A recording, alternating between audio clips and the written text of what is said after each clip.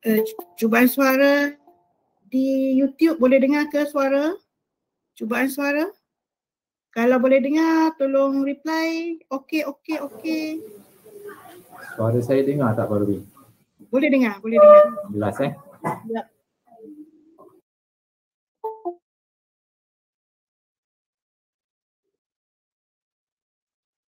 Okey, cuba suara ya dengar.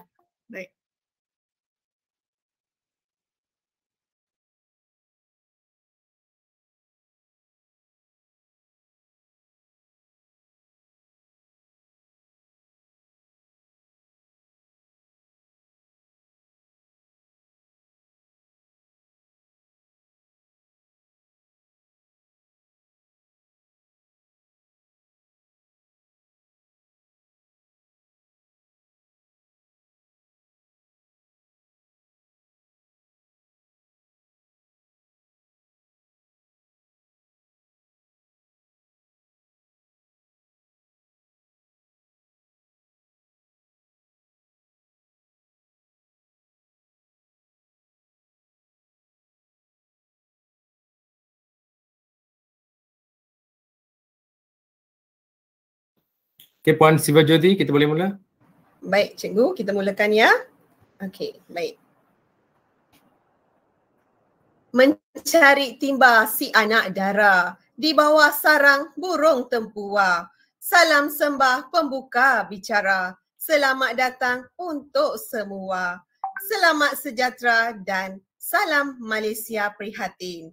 Yang berbahagia Datin Nur Farida binti Abu Bakar, Timbalan Pengarah Pendidikan, Sektor Pembelajaran Jabatan Pendidikan Negeri Selangor, yang berbahagia Encik Tamila Rasu Subramaniam yang dipertua Majlis Guru Besar Sekolah Tamil Negeri Selangor merangkap Guru Besar SJKT Persiaran Raja Muda Musa yang berusaha Guru-Guru Besar SJKT Negeri Selangor, para penceramah, ketua-ketua panitia bahasa Melayu, guru-guru bahasa Melayu serta hadirin yang dihormati sekalian. Kalau pergi Tanjung Keramat, anak manis jangan diangkat. Bersama kita memohon rahmat. Moga majlis mendapat berkat. Majlis mempersilakan Puan Kala Citra Widyawati Krishnan dari SJKT Methodist Kapar untuk memimpin bacaan Dewara. Dipersilakan.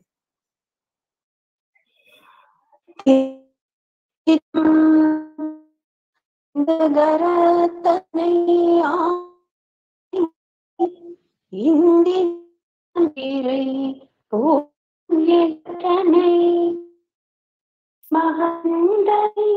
tanah Indi Dirai Kuyetanai Mahandai ஞான கொழுந்தே உண்டீத்தடி ஓற்றுகின்றேனே திருச்சிற்றம்பலம் Terima kasih atas bacaan Dewaram tadi. Terbang di awan, burung jentayu. Di atas papan, batang selisih tampillah Tuhan kami merayu bersama ucapan ikat kasih. Majlis dengan segala hormatnya mempersilakan yang berbahagia Encik Tamila Rasul Subramaniam yang dipertua Majlis Guru Besar Sekolah Tamil Negeri Selangor merangkap Guru Besar SJKT Persiaran Raja Muda Musa untuk menyampaikan ucapan aluan. Dipersilakan. ஓம் நமச்சிவாய வாழ்க வாழ்க அகரமுதல் எழுத்தெல்லாம் ஆதிபன் முற்ற உலகு வணக்கம் salam sejahtera salam perpaduan dan salam Malaysia perhatian saya ucapkan kepada uh, Datin Nur Farida binti Abdul uh, Bakar Abu Bakar Timbalan Pengarah Pendidikan Sektor Pembelajaran Jabatan Pendidikan Negeri Selangor Encik Senggu Tuan Penolong Pengarah Bahasa Tamil Jabatan Pendidikan Negeri Selangor uh, Puan Azilawati binti Abu Bakar Ketua Penolong Pengarah Bahasa JPN Negeri Selangor, Encik Abdul Rani JU Negeri Selangor dan uh, pegawai-pegawai dari unit bahasa uh, JPN. Setiausaha MGBT Encik uh, Pandian, SS Pandian, penolong setiausaha Encik Ganesh Ram, dan uh, Setiau Bendahari Puan Saraswati serta pengurusi Majlis Guru-Guru Besar Daerah uh, Negeri Selangor, guru-guru besar, guru-guru penolong kanan, guru-guru ketua panitia dan uh, guru-guru bahasa Melayu serta para hadirin sekalian. Uh, selamat datang ke majlis ini. Saya ucapkan uh, terima kasih atas kesudian tuan-tuan dan puan-puan hadir ke majlis ini.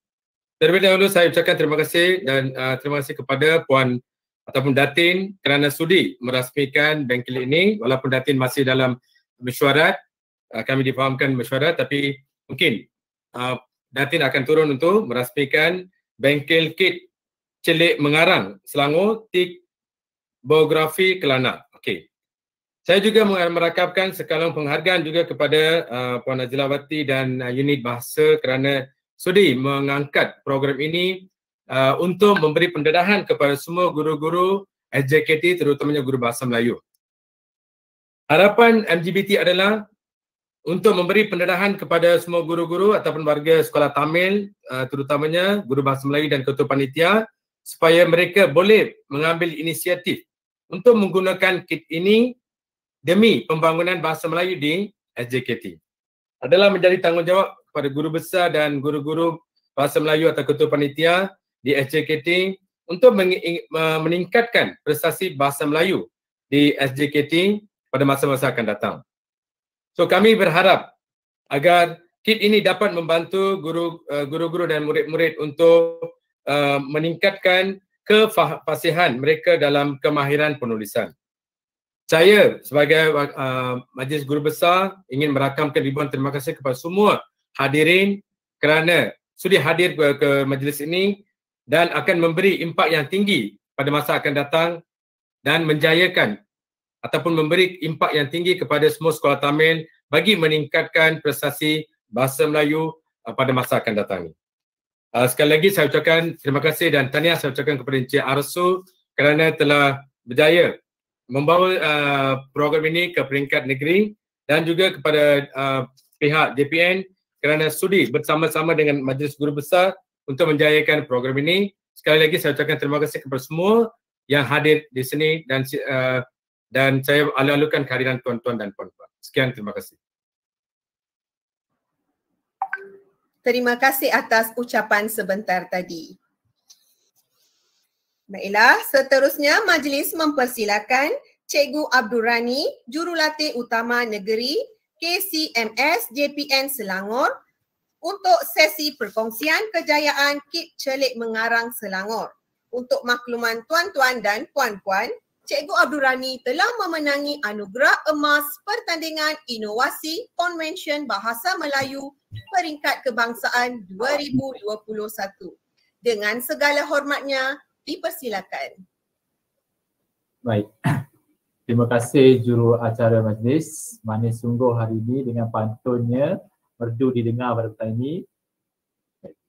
Yang saya hormati Datin Nur Faridah Abu Bakar, Timbalan uh, Sektor Pembelajaran Jabatan Pendidikan di Selangor, Puan Azilawati A. Bakar, KPP Bahasa uh, Jabatan Pendidikan di Selangor, Puan Rubiatun Ibrahim, Penolong Pengarah Bahasa Jabatan Pendidikan di Selangor, yang dihormati Encik Tamil Arasu Subramaniam, uh, Guru Besar merangkap majlis pengurusi majlis guru besar sekolah-sekolah Tamil eh seterusnya guru besar ketua-ketua panitia rakan-rakan guru yang dihormati. Selamat petang saya ucapkan.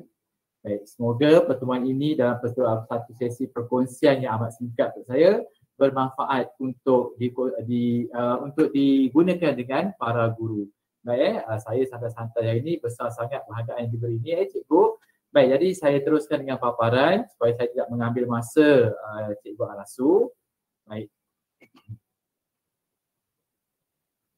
Okay, uh, cikgu-cikgu saya akan kongsikan sedikit tentang keberkesanan. Okay, keberkesanan uh, penggunaan ataupun uh, hasil uh, daripada penggunaan KCMS ini dalam PDP dan PDPR. Okay, secara ringkas saya akan tunjuk sebelum dan selepas. Baik. Untuk perkongsian hari ini tentang KSMS dalam PDPR. Seterusnya, okay, KSMS ni sudah tentulah merujuk kepada kemahiran menulis yang mana objektif asalnya untuk membantu dan mengupayakan murid-murid di sekolah rendah khususnya dan sekolah menengah untuk menulis. Menulis ini sangat besar maknanya okay, mungkin menulis ayat, menulis karangan, menulis perenggan dan sebagainya ter, uh, merujuk kepada SP-SP tertentu. Jadi kita nak bantu dan upayakan murid-murid untuk menulis sesuatu dalam buku, kertas dan sebagainya. Seterusnya, kita merujuk pada standard pembelajaran yang mana KSMS ini dibangunkan dengan baik sekali dan merujuk pada SP-SP yang terdapat dalam DSKP Semakan dan DSKP KSSR untuk tahun 6 dan boleh diguna pakai untuk murid tahun 1, 2, 3, 4, 5 dan 6 di sekolah rendah juga di sekolah menengah sehinggalah murid-murid yang akan menduduki SPM. Itu seberingkas. Terusnya isu. Kenapa saya menggunakan kit SMS dan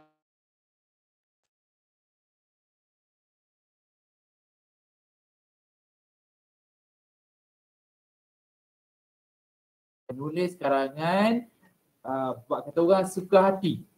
Apa yang dia ingat, apa yang terlintas dalam kepala, itulah dia tulis. Maka susunan idea itu tidak ada kohesi dan koheren antara satu idea dengan satu idea yang lain, antara perenggan dengan perenggan yang lain.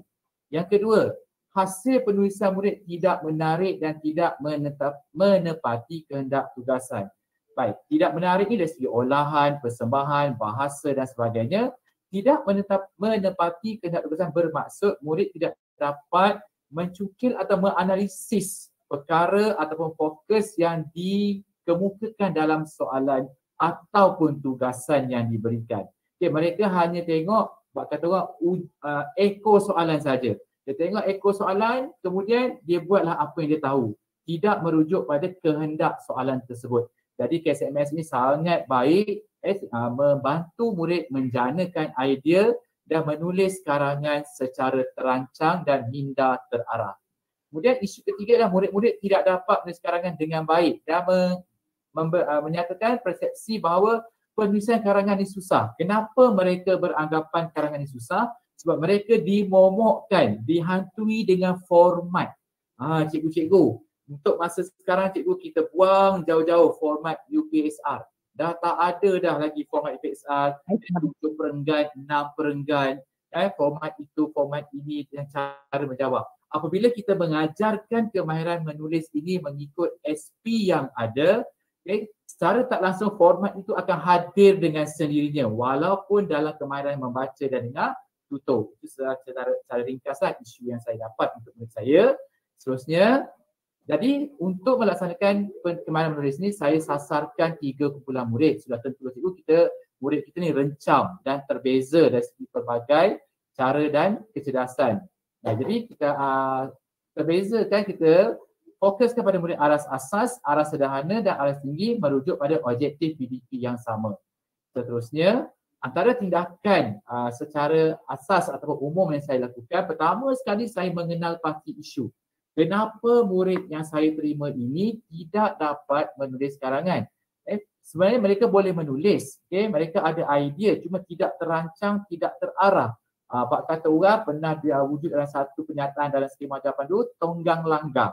Ah, ayat tonggang langgang. Jadi istilah itu kena pada murid-murid ini. Jadi dibuat ujian pengesanan ataupun diagnostik pada awal tahun hari itu. Kemudian dibuat soal sidik eh, melalui pemerhatian, bersoal jawab dengan murid tersebut dan minta pendapat murid-murid tersebut. Kemudian selepas itu dibuat pengumpulan data dan data-data itu direkod berdasarkan keputusan uh, pencapaian ujian, hasil kerja dalam kelas, hasil pemerhatian. Jadi apabila pemerhatian ini sudah pastilah selari dengan PBD. Kemudian mendapatkan maklum balas daripada guru tahun sebelumnya. Memang saya akan menghubungi guru tahun sebelumnya murid yang saya sambut pada tahun ini bukan saya sambut bulat-bulat saya merujuk pada guru tahun sebelumnya malah saya merujuk pada guru-guru tahap satu juga untuk mendapatkan maklumat tentang murid ini pada peringkat asas. Eh, selain berdasarkan keputusan peperiksaan dan ujian, saya juga mendapatkan maklumat-maklumat lanjut tentang perkembangan murid ini. Jadi ini juga selari dengan PBD yang kita laksanakan. Seterusnya, dibuat analisis data dan maklumat. Okay, ini contoh eh, hasil penilaian. Okay, saya menganalisis setiap murid. Ha, contoh kebetulan pada bulan Mac itu sempat buat diagnostik. Jadi cikgu, saya sempat buat analisis setiap bahagian. Pada masa ini belum lagi diumumkan uh, UPSR dibatalkan, maka masih lagi mengikut format. Walaupun pada masa ini mengikut format, kita uh, harus tahu kalau bahagian A itu SP mana yang kita gunakan. Bahagian B SP mana yang kita gunakan. Bahagian C SP mana yang kita gunakan. Supaya apabila kita melakukan analisis data, contohnya pada bahagian sini Abdullah Faizal ni okay, saya lihat oh saya perlu fokus pada SP SP menulis yang tertera di sini untuk membantu murid ini menulis sekurang-kurangnya mencapai tahap penguasaan minimum PP3. Jadi alhamdulillah. Jadi daripada analisis inilah uh, membantu saya membuat intervensi dan menggunakan kit SMS ini untuk uh, menjadikan murid ini boleh uh, tak boleh kepada boleh. Baik, ini bukti cikgu ini saya cuma buat paparan dengan izin screenshot lah kerana tunjuk banyak ni ada 36 orang murid. Okay. Baik, bukan satu kelas saja cikgu, dua kelas BM tu dua-dua saya buat. Baik, seterusnya dapatan selepas menggunakan KSMS aras rendah. Okay, aras tinggi memang boleh boleh buat lah. Okay, murid aras rendah, saya tunjuk dulu dapatannya. Baik, ini dapatan bagi murid 6 Bestari 2020. Okay, TOV itu awal tahun apabila murid-murid uh, sempat dibuat ujian pengesanan ataupun diagnostik sebelum kita PKP pada 18 Mac yang lepas. Jadi dalam tempoh PDPR, murid-murid ini telah diperkenalkan dengan KSMS, eh, terutama uh, ASBAT, uh, kemudian Daku secara berperingkat. Sebenarnya dalam KSMS sangat bagus. Dibuat secara ansur maju sehinggalah yang paling tinggi. Nah, kalau cikgu lihat di sini, eh, nampak peningkatan pada akhir tahun. Jika dilihat TOV, maka TOV di sini tengok eh, Cik Alif ni eh, dengan uh, maka 30 saja dan saya hanya mampu ataupun berani mensasarkan 40 pada ETR saya. Jadi Alhamdulillah memang nampak sangat perubahan Cik Alif dari segi psikomotor, efektif dan kognitif dia. Dia berjaya mendapat 68. Itu bukan A, B silap cetak tu. Baik, seterusnya yang gagal telah menjadi lulus maksudnya sudah mencapai PP3 pada akhir sesi pembelajaran tahun berkenaan. Baik, untuk makluman cikgu-cikgu ah, eh, nah besar ini bukan kelas orang cakap uh, ada tak ada streaming pun, bukan kelas pandai pun. Ini murid kelas yang ke-11. Okay, kelas ke-11 ada 33 orang murid. Jadi Alhamdulillah yang TH ni maksudnya dia tak hadir lah. Baik, seterusnya, ha, ni murid kelas yang sama ni, ha, terlihat eh, Muhammad Hazim, daripada 34 pada 66 dan apa yang menjadi uh, kebanggaan saya Muhammad Muaz Muhammad Tuah ini murid yang capai 48 berjaya. Ini bukti sebenar berjaya mencapai 80 markah pada akhir tahun. 80 ni campurlah cikgu uh, cikgu-cikgu eh tiga-tiga bahagian tu dan bahagian C tu kemarin menulis karangan tu meningkat. Kalau bahagian C menulis karangan pada masa itu Uh, tidak menyumbang markah tidak mungkin murid ini akan dapat A pada akhirnya. Walaupun A80 ini sangat membanggakan saya dan membuktikan bahawa penggunaan KCMS ini sangat membantu, sangat berkesan dan dibuat secara ansur maju. Bukanlah cikgu kita ajar hari ini sekali murid terus buat. Tidak cikgu. Ambil masa secara ansur maju dan diulang, dibuatlah tutupi dan sebagainya. Ini bukti kelas yang ke-11. Sebenarnya aras rendah lah ni. Kemudian aras sederhana. Okay, aras sederhana, baik, Adrian Mikael. Ha, sebelum 46. Okay, ini maka awal dia 46, akhirnya 80. Saya hanya mampu buat sasaran iktiran, iktiran 60 ataupun kira tinggi. Jadi akhirnya murid setelah me, uh, menggunakan kit tersebut uh, dengan teknik-teknik asbat, uh, daku dan saya ada cuba juga bograf dan mas 3PM jadi nampak, murid-murid nampak dapat menulis karangan secara terancang dan minda ke arah. Tidak lagi mereka dapat soalan terus tulis. Jadi nampak hasil tu ada proses. Yang kita nak di sini lah proses menulis tersebut berlaku. Bukan kita mengajarkan format karangan. Kalau kita masuk ajar bagian A, bagian C, budak akan rasa tertekan. Jadi eh, saya rasa uh, nampak di sini tentang data-data tersebut. Tak perlu saya jelaskan satu persatu. Kalau cikgu lihat nampak perubahan eh, cuma ada kesilapan cetakan kat situ. Seterusnya, uh, ini uh, murid kelas yang sama, kelas arah sederhana. Uh, nampaklah lonjakannya. Itu data ni data betul eh, daripada kertas murid. Uh, mungkin kat, uh, sebab bertype kan. Uh, cikgu, uh, 54C pada awalnya dan saya pun muskil kenapa murid-murid ni tak boleh hasilkan idea dan menulis karangan yang baik. Jadi apabila dibuat asuhan, ansur maju, pemeringkatan, latihan demi latihan, penerangan demi penerangan dan pelbagai cara, Alhamdulillah inilah hasil akhirnya. Eh, hasil akhirnya. Baik, seterusnya. Baik, ini yang terkini. Cikgu-cikgu ni yang terkini tahun 2021 okay, yang dibuat pada bulan Mac dan hasilnya pada bulan Mei ataupun awal Jun. Okay, ini merujuk pada kemahiran menulis saja yang mana murid-murid ini menunjukkan peningkatan sebanyak paling kurang 5 markah. 5 ha, markah daripada 25 tu melonjak pada markah-markah tersebut. Lah. Dan sehingga sekarang Alhamdulillah murid-murid ini saya dah boleh bagi PP4 dan 5 untuk PGD bagi kemahiran menulis mengikut SP tertentu. Ini yang terkini. Jadi murid saya ni saya banyak guna PP daku untuk merujuk pada uh, penghasilan perenggan kepada karangan. Dan insyaAllah lepas ni boleh nampak peningkatan mungkin akan berubah kepada bograf dan sebagainya insyaAllah. Baik, seterusnya hasil kerja sebelum. Ha, ni bukti hasil kerja sebelum. Ha, ni muridnya, ha, murid kelas yang ke-11 tadi. Eh. Asalnya TP2. Inilah hasil dia cikgu. Cikgu Rani. Ya saya. Ada nak tanya tu. Cikgu yeah. uh, uh, Sumati. Uh, cikgu Sumati nak tanya kot. Ya cikgu. Cikgu Sumati nak tanya ke? Ha, nampak angkat tangan tu? Ha, ada angkat tangan tu tertekan kot. Okey, teruskan. Okey. Okey. Uh, ni hasil oh, ni peringkat awal. Uh, peringkat awal apa uh, uji. Inilah tiga baris ni. Uh, dia jawab. Markah tadi tak bawah lah kan ulasan saya tu. Kemudian baik, ini cikgu. Uh, hasil awal ni kertas sebenar. Uh, ni.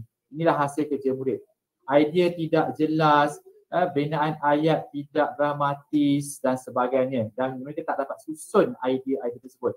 Uh, jadi ini saya letakkan titik satu lah untuk berikan semangat bukan semangat nak nak cabar murid-murid tersebut.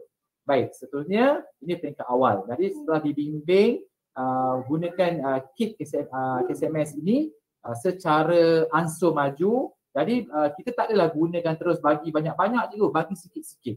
Eh bagi sikit-sikit ansur maju biar budak-budak ni dia boleh terima. Kalau bagi banyak-banyak terus cikgu dia rasa terbeban. Uh, susah lagi karangan, susah lagi. Eh biar dia gembira di samping cikgu buat dia terhibur, bukan terus bagi up nak kau ikut ni tak ada berperingkat okey baik seterusnya hasil kerja selepas. Okey inilah hasil kerja selepas dimulakan dengan asbat. Okey uh, untuk asas menjadikan uh, bentuk ayat. Ayat dipindah jadi perenggan. Uh, ikutlah SP yang kita guna. Seterusnya ini setelah digunakan PP daku. Ni bukan kelas pandai gue ni kelas yang ke-11 tadi tu. Ah uh, ni muaz tadi tu. Ah uh, muaz nama muaz tu. Eh ini hasil dia. Setelah dibuat beberapa kali inilah hasil murid tersebut dan tak perlu lagi nak lukis jadual-jadual yang ada dalam kit tersebut. Ha, mereka dah tahu, sebut je mereka dah tahu. Tulis di kiri apa nak buat. Ha, jadi cikgu tengok murid-murid yang kita nak upayakan daripada tak boleh menjadi boleh ini cukuplah ringkas-ringkas. Sekurang pun dia dapat hasilkan peringkat seperti ini. Ha, berperingkat. Cikgu, ini selepas. Seterusnya, ini cikgu, ah saya ada juga cikgu murid-murid India. Ah eh ni yang bukti yang eh. cikgu. Eh dengan pendiamnya, dengan suka nak bertanyanya. Tapi cikgu dari awal tahun sehingga sekarang dia dah jadi berani.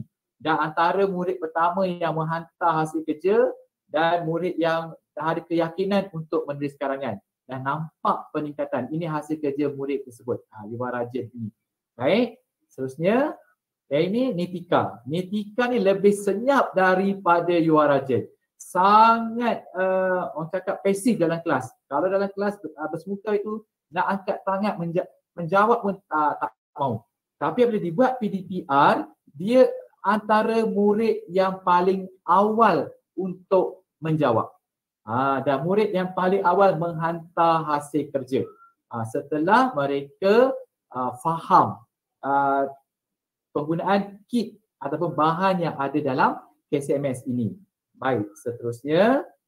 Baik, saya di sini saya tak tengok segi tulisan sebab saya tengok bagaimana murid ini menulis lebih dahulu. Kemudian baru tengok perenggan dan sebagainya. Baik, seterusnya ini hasil terkini. Ha, kalau cikgu tengok di sini kan, hasil terkini yang dibuat dalam dalam uh, PDTR. Hasil murid daripada TP2 tadi dah boleh bagi TP3. Ha, di sini saya tak bagilah tinggi sebab saya nak upayakan murid tersebut supaya dia tak terlalu yakin. Ha, ini hasil dia. Okay, uh, murid-murid tadi uh, yang uh, Al, uh, maaf Abdullah tadi, Rahim tadi dan sebagainya. Ha, ini hasil. Ringkas-ringkas tapi nampak cikgu boleh buat sekurang-kurangnya satu perenggan dapat menulis satu perenggan maksudnya murid tu dah berjaya melaksanakan kemahiran menulis tersebut. Ha. Baik, seterusnya inilah hasil-hasil uh, murid ha, nah bestari itu kelas yang akhir lah. Eh, yang tadi saya sebut tadi ni hasil murid. Eh, jadi tipe empat sebab apa? Masih ada kesalahan, masih ada kebetulan di situ. Jadi yang ini, ha, ni pun yang terkini yang saya sebut ni tika tadi. Ni tika, ada nama kat situ yang saya merahkan ni. Dan inilah hasilnya. Kalau ikutkan dari peringkat awal dahulu memang uh, tidak terancang, tidak terarah uh, hasil penulisan murid tersebut. Jadi nampak di sini saya beri dalam bentuk uh, pautan ini mereka dapat jawab dalam masa yang ditetapkan. Uh, contoh ibu eh, uh, saya bagi kat situ ada Nitika, ada juga sini dan sebagainya. Ini hasil kerja mereka. Baik, sebelum dan selepas. Seterusnya, contoh jawapan murid yang dibuat dalam PDTR. Uh, ini maksudnya saya dah bagi ke uh, bagi apa yang cakap pelepasan. Uh, buat sendiri. Uh, buat sendiri dan inilah hasil kerja murid tersebut. Inilah hasilnya. Eh contoh jawapan. Seterusnya uh, ini merangka, membuat kerangka, menjanakan idea. Kemudian buat kerangka, seterusnya uh, ini perenggan dan ini hasilnya. Kalau cikgu lihat juga panjang karangan tidaklah seperti dalam format UPSM kita tekankan. Jadi murid akan seronok cikgu. Eh, bila seronok cikgu macam ni boleh ke? Ah dia tanya kita. Sebenarnya cikgu kita kena keluar daripada uh, kepompong UPSR tu. Jangan lagi momokkan murid dengan mesti enam perenggan. Mesti tujuh perenggan. Jangan cikgu. Jangan sebut benda-benda tu dah cikgu. Kita buat ikut kemahiran. Perkara itu akan hadir secara tidak langsung. Dan murid ni saya boleh bagi tipi empat sebab masih terdapat kesilapan yang boleh dibuat perbetulan untuk penambahbaikan. Ha, jadi bintang itu berdasar pada cikgu lah ikut kemahiran, ikut uh, uh, diri cikgu. Uh, apa gambaran cikgu terhadap bintang-bintang cikgu bagi. Jadi saya je faham empat bintang tu kenapa. Uh, tidak bererti empat bintang tu empat. Uh, tidak. Eh, empat bintang tu cuma ganjaran sebab jadi saya je kenal murid macam mana untuk penetapan tipi setelah beberapa kali dibuat secara ansur maju. Seterusnya, Ha, daripada hasil kerja tadi sudah tentulah kita perlu kaitkan dan laksanakan dengan PBD. Ha, saya kaitkan sikit saja di sini daripada hasil dan evidence tadi perekodan tadi saya masukkan dalam borang perekodan saya dan senarai semak saya supaya tidak ada SP yang terlepas pandang eh agar murid tu kita tidak nafikan hak mereka untuk SP-SP yang patut mereka belajar. Kemudian daripada hasil kerja ini eh, mengikut tarikh saya pindahkan dalam perekodan. Mana yang saya tunjuk sebelum ini eh, sama juga yang ini saya pindahkan sebagai ada evidence kita. Kemudian ini saya buat dalam bentuk PDF lah. Saya pernah kongsikan yang ini. Masih lagi perekodan seterusnya ada juga saya buat dalam bentuk pautan. Ha, katakan saya tak kenal murid ni awal-awal dululah. Eh, ha, dalam sebulan uh, 30 hak sebulan setengah je saya jumpa murid-murid ni. Sebab bila empat kelas ada nama yang sama. Dia nama yang sama katanya Kaisara, Nazrul kan. Nama tu nama saya panggil nama nama pendek. Ha, jadi ni Kaisara Kaisara yang kelas mana? Jadi saya minta ini inisiatif saya sendiri, saya pakat dengan murid-murid saya, boleh tak awak suar foto. Ah ha, suar foto. Ini bukan ini bukan program sekolah cikgu eh, saya sendiri. Ah ha, okey sebab saya susah nak kenal muka murid, atau murid perempuan. Nama ingat. Tadi saya klik dekat situ, oh okey ini Emrain contohnya. Bukan sebab saya kenal murid ni saya bagi dia, tidak. Supaya saya tidak silap orang. Ha, jadi mungkin pada catatan saya ada. Eh mungkin saya nak kenal, oh yang mana satu Pesara yang mana satu, Emrain yang mana satu. Jadi ha, membantu saya. Tapi sekarang ni Alhamdulillah lah dah, dah boleh ingat. Jadi saya letakkan di sini untuk dengar tutur, membaca, menulis dan akhir sekali TPK untuk mata pelajaran bagi murid berkenaan. Baik, itu dia. Apa-apa pun cikgu sebab kemahiran menulis ni adalah kemahiran yang ditaksir uh, dalam PBD. Seterusnya, kita bawa kepada pelaporan daripada perekodan yang kita buat tadi kita masukkanlah dalam pelaporan yang dibekalkan oleh pihak BPK yang mana kita isikan setahun dua kali. Jadi data ini akan direkodkan dalam laman web, ah, maaf dalam data PGB pihak-pihak tertentu. Baik cikgu, sekian sahaja perkongsian saya untuk hari ini untuk berkongsi dengan cikgu keberkesanan penggunaan KCMS ini kepada murid-murid. Pada saya bukan saya nak angkat uh, diri saya sendiri tidak. Saya nak mengajak rakan-rakan guru kita cuba cikgu. Belum cuba belum tahu tak kenal maka tak cinta.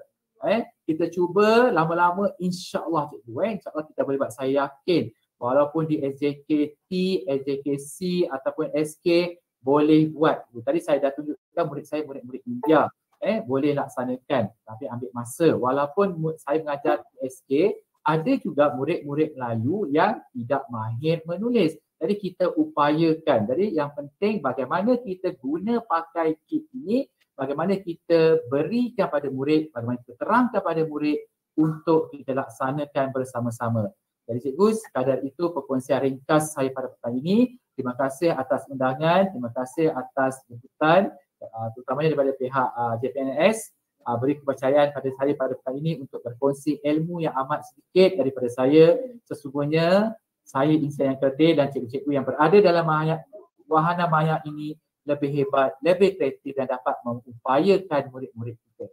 Baik, sekian. Terima kasih. Saya kembalikan kepada moderator program. Kita silakan. Terima kasih atas perkongsian tadi.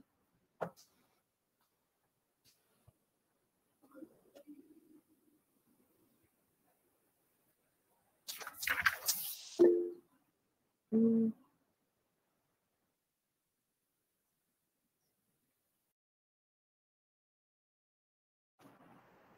Cikgu Tamila Rasul, kita boleh jemput uh, Puan Far, uh, Datin Farida ya? Silakan, silakan. Ya. Uh, belum, belum. Belum lagi. Uh, Puan Tamila Rasul, belum lagi. Kita teruskan dulu. oh, okey, Puan. Okay, uh, kalau tak dapat, kita tunggu penutup. Okey? Okey, Puan. Tak ada masalah. Kita teruskan dengan bengkel ya.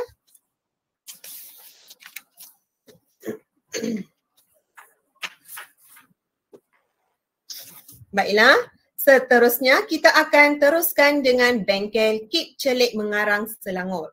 Ada peribahasa Melayu mengatakan bahawa tak kenal maka tak cinta.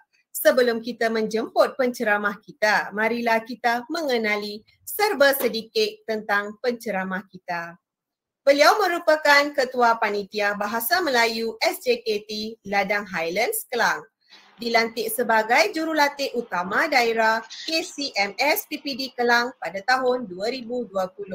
Beliau juga telah mendapat tempat kedua dalam pertandingan menulis kajian tindakan Kit Celik Mengarang Selangor Anjuran Unit Bahasa JPN Selangor. Kini beliau telah menghasilkan model karangan dan buku, buku aktiviti karangan menggunakan teknik-teknik Kit Celik Mengarang Selangor tanpa melengahkan masa, majlis mempersilakan penceramah kita pada hari ini iaitu Cikgu Arasu anak lelaki Sekar, jurulatih utama daerah KCMS PPD Kelang untuk menyampaikan ceramahnya. Dipersilakan.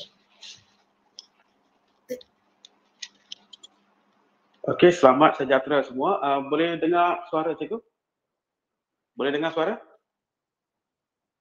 Boleh cikgu. Boleh, boleh Encik Arsu. Boleh ya? Screen boleh nampak ke cikgu?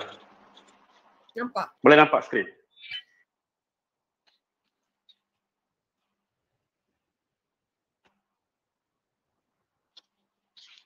Boleh ya? Sir, okey ke sir? Boleh mula?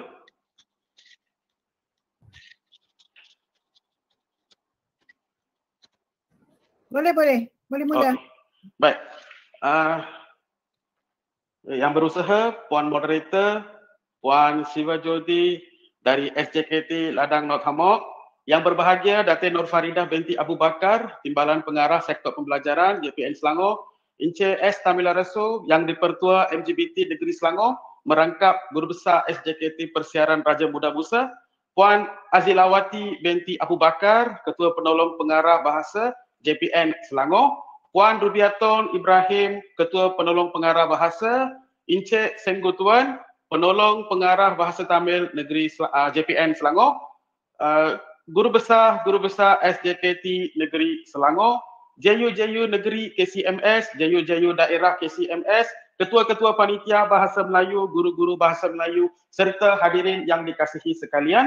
Terlebih dahulu saya mengucapkan ribuan terima kasih kepada uh, MGBT Negeri Selangor dan Unit Bahasa JPN Negeri Selangor kerana memberikan peluang kepada saya untuk menjalankan uh, bengkel KCMS kita pada hari ini terutamanya kepada uh, guru-guru besar dan guru penolong kanan SJKT Negeri Selangor. Tujuan kita membuat bengkel ini adalah untuk menyampaikan keberkesanan teknik KCMS kepada guru besar uh, para guru besar SJKT Negeri Selangor supaya teknik ini boleh diimplementasikan dalam PDP uh, sekolah Tamil dan juga membantu untuk meningkatkan kemahiran menulis bahasa Melayu dalam kalangan pelajar uh, sekolah Tamil di Negeri Selangor. Baik, uh, kita mulakan. Okey, sebelum kita mulakan, Uh, saya nak mengucapkan terima kasih kepada Cikgu Abdul Rani kerana membantu saya untuk menjelaskan keberkesanan beberapa testimoni hasil murid kepada uh, yang menggunakan teknik KCMS ini kepada uh, guru-guru bahasa Melayu SJKT Negeri Selangor. Dah, dah, dah mengurangkan bebanan saya dah Cikgu Rani. Terima kasih. Baik, so kita teruskan. Sebenarnya pada tahun lepas saya telah menyertai tandingan uh, kajian tindakan KCMS uh, anjuran unit bahasa JPN Selangor. Dalam kajian tindakan itu saya dapat tempat kedua dan tajuk kajian saya ialah penggunaan teknik tik, bograf dan kecaha dalam penulisan karangan. Itu adalah tajuk saya dan berdasarkan tajuk itu okey kita akan saya akan buat perkongsian macam mana nak menggunakan teknik tik bograf dan kecaha untuk membantu murid sekolah rendah untuk mencapai minimum TP3 dalam kemahiran penulisan. Okey, macam mana nak capai tu? Minimum TP3. Okey. Sebenarnya kan cikgu, masalah murid kita, murid kita ni sebenarnya uh, terutamanya murid SJKT. Okey, masalah mereka adalah apabila kita memberitahu mereka ataupun kita memberikan mereka satu soalan karangan, beribu-ribu perkataan akan berpusing di atas kepala mereka. Beribu-ribu perkataan akan berpusing. Okey? Tapi masalahnya budak itu tidak tahu perkataan mana yang perlu diambil letak di tempat pertama. Perkataan mana yang dia perlu ambil letak di tempat kedua. Susunan itu yang mereka tidak jelas macam mana nak buat. Okey? Jadi teknik KCMS ini terutamanya teknik bograf dan kecahat ini membantu murid untuk menyusun idea mereka secara uh, koheren. Okey, secara koheren, secara tersusun supaya tidak berlaku masalah pengulangan idea dan isi ulangan. Okey, tidak berlaku masalah itu. Baik. Okey, kita mulakan. Pertama sekali, saya nak berkongsi dengan cikgu tentang teknik tik dan kecaha dulu. Okey, teknik tik ini digunakan untuk menulis perenggan pengenalan dan teknik kecaha digunakan untuk menulis perenggan penutup. Baik. Jadi ini adalah uh, standard pembelajaran yang dapat dicapai oleh murid jika mereka menggunakan teknik tik dan kecahat. Dengan mudah boleh capai uh, standard pembelajaran ini. Nombor satu, 3.3.1, mendraft dan menghasilkan penulisan berformat dan tidak berformat. Yang kedua, 3.3.4, membina kerangka dan menulis pelbagai jenis karangan. Okey, apa itu teknik tik, apa itu teknik kecahat? Baik. Biasanya apabila kita mengajar murid kita, murid kita dia ada fobia sikit, terutamanya pelajar India. Dia ada fobia sikit. Dia tak boleh tulis panjang-panjang. Apabila dia tengok karangan yang panjang, dia rasa fobia sikit. Dia rasa macam nak muntah sikit. Okey? Jadi apa yang kita boleh bantu melalui teknik tik dan kecahat ini adalah kita boleh memberikan keyakinan kepada murid. Hanya menulis tiga ayat sahaja. Okey, hanya menulis tiga ayat sahaja untuk pengenalan dan tiga ayat sahaja untuk penutup dengan mudah. Ha, dengan ini mereka murid-murid sudah ada keyakinan untuk menulis karangan dengan baik. Okey. Baik, apa itu teknik tik sebenarnya? Okey, macam mana nak menggunakan teknik tik? Teknik tik digunakan untuk menulis pendahuluan. Okey, tik, T-I-K. T bermaksud tema, I bermaksud isu dan K bermaksud kehendak. Tiga ayat, tiga benda sahaja. Jadi menggunakan tiga benda ini, murid hanya perlu tulis tiga ayat sahaja. Tiga ayat sahaja. Okey? Jadi macam mana nak gunakan TIK ini untuk menulis tiga ayat? Okey. Contoh. Okey, ini contoh soalan. Contoh soalan. Amalan membaca haruslah dipupuk dalam kalangan murid sejak kecil lagi. Okey? Amalan membaca haruslah dipupuk dalam kalangan murid sejak kecil lagi. Huraikan kebaikan amalan membaca. Okey, huraikan kebaikan amalan membaca. Okey, murid-murid haruslah mengenal pasti tik TIK daripada soalan ini. Lepas baca soalan ini, murid kena mengenal pasti TIK, tik. Okey, macam mana nak kenal pasti? Okey, dalam soalan ini, apakah tema yang dibincangkan? Tema yang dibincangkan dalam karangan ini, amalan membaca. Senang, amalan membaca. Okey, apa kehendak soalan? Apa yang murid perlu tulis? Kebaikan. Jadi dua benda ini murid-murid perlu kenal pasti. Perlu kenal pasti tema, perlu kenal pasti kehendak. Dua benda ini. Lepas kenal pasti dua benda ini, ah, semua perkara menjadi sangat mudah. Macam mana? Okey. Baik. Kita dah dapat tema. Amalan membaca, tema. Kehendak soalan, kebaikan membaca. Itu adalah kehendak soalan. Okey. Macam mana nak dapatkan isu ni? Isu ni sangat mudah. Ambil daripada tema, jadikan dia sebagai negatif. Itu sahaja. Dan kita kena ingat, tema mestilah sentiasa positif. Tema mesti sentiasa positif. Tema tak boleh jadi something yang negatif. Okey? Kalau dia negatif, dia tidak akan diberikan sebagai tema. Okey? Jadi tema always positif. Isu always negatif. Isu mesti negatif. Okey? Baik. Jadi tema kita amalan membaca isu. Kita just jadikan tema ni sebagai negatif. Apa masalah? Ramai orang tidak suka membaca. Itu saja. Ramai orang tidak suka membaca. Kalaulah tema kita kesihatan. Kesihatan. Isu kita ramai orang tidak mahu menjaga kesihatan. Contoh tema kita keselamatan. Isu kita ramai orang tidak menjaga keselamatan. Isu sukan. Eh sorry, tema sukan. Isu ramai orang tidak minat bersukan. Ha, macam itu. Kita jadikan tema ini menjadi negatif. Itu sahaja. Ramai orang tidak mahu buat benda itu. Okey? Itu adalah isu. Kehendak soalan, kebaikan membaca. Jadi, tema amalan membaca ialah positif. Ramai orang tidak suka membaca, negatif. Ha, dia semua topik. Semua topik yang kita bincangkan menggunakan teknik dia mesti ikut macam ini. Okey? Tema mesti always positif. Isu mesti always negatif. Macam mana nak cari isu? Ambil tema kata ramai orang tak nak buat. Itu saja. Ramai orang tak nak buat. Okey? Dan kehendak soalan kita dapat daripada soalan ya, kebaikan membaca. Siap. Sekarang apa yang murid perlu buat ialah murid perlu membina satu ayat menggunakan amalan membaca, satu ayat menggunakan ramai orang tidak suka membaca dan satu ayat menggunakan kebaikan membaca. Okey, macam mana nak buat ayat? Okey. Kita tak boleh mengharapkan semua murid menulis ayat panjang. Tak boleh. Okey, tak boleh kita harap macam itu. So, dia terpulang kepada kapasiti murid itu. Berapa banyak dia boleh tulis. Ada murid boleh tulis panjang. Ada ada murid tak boleh tulis panjang. Jadi dia boleh tulis pendek sahaja. Okey, macam mana? Okey, ini untuk ini adalah contoh murid yang boleh tulis panjang. Okey, murid yang boleh tulis panjang. Okey. Macam mana nak mulakan ayat pertama? See, tadi saya cakap uh, tema always positif. Betul tak situ? Tema always positif. Kalau sesuatu benda itu positif, mestilah penting kepada manusia. Ha, kita nak gunakan konsep penting kepada manusia. Sukan penting kepada manusia. Kesihatan penting kepada manusia. Keselamatan penting kepada manusia. Uh, apa lagi? Membaca penting kepada manusia. Amalan menabung penting kepada manusia. Jadi semua tema sangat penting kepada manusia.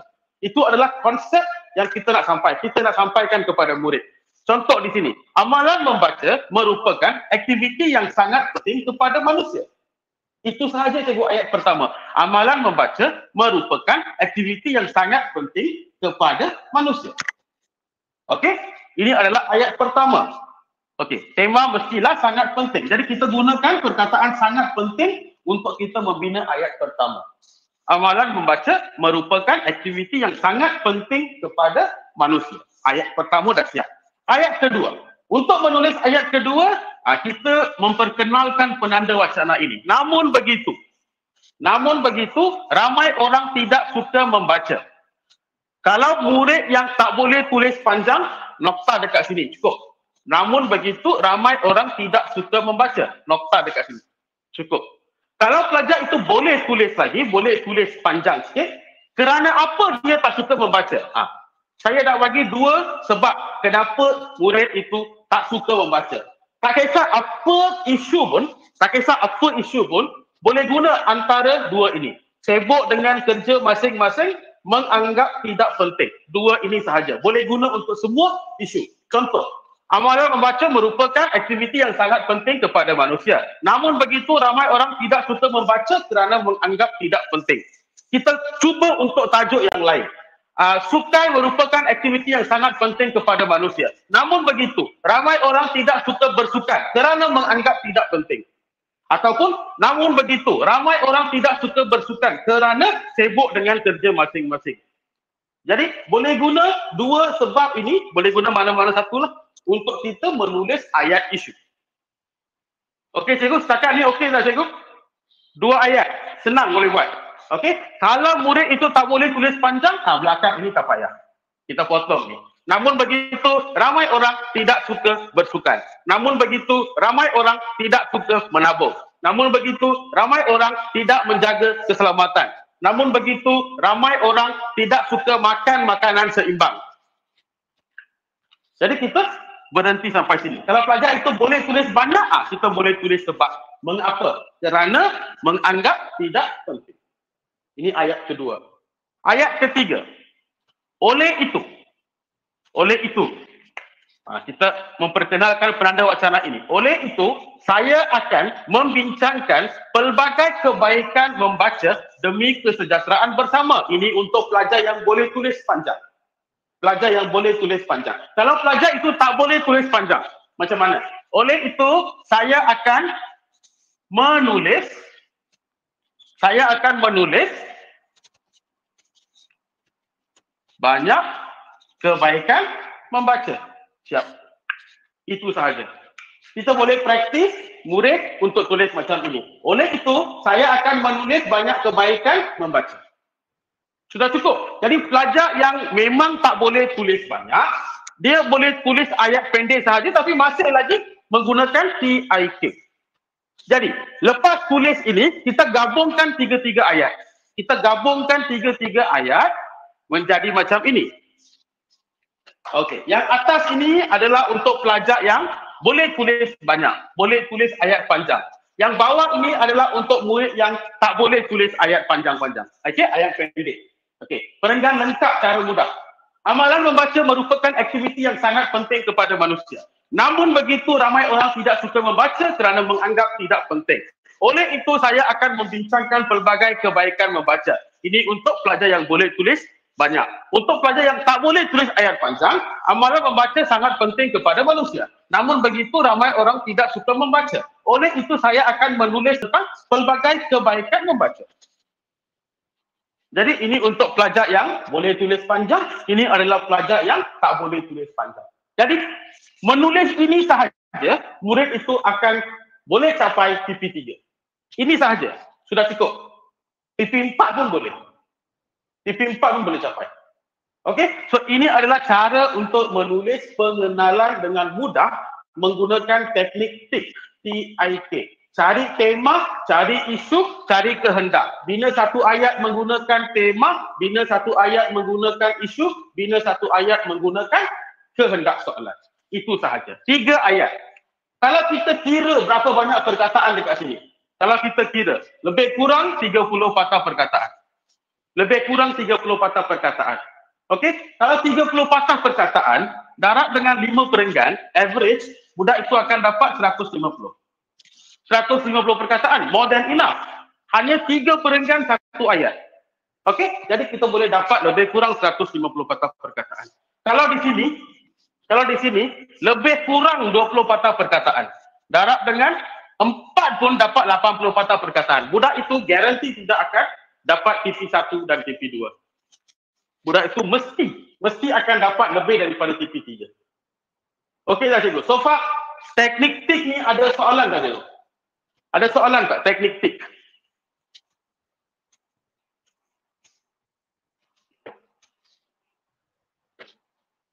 Okey ke cikgu? Boleh saya teruskan?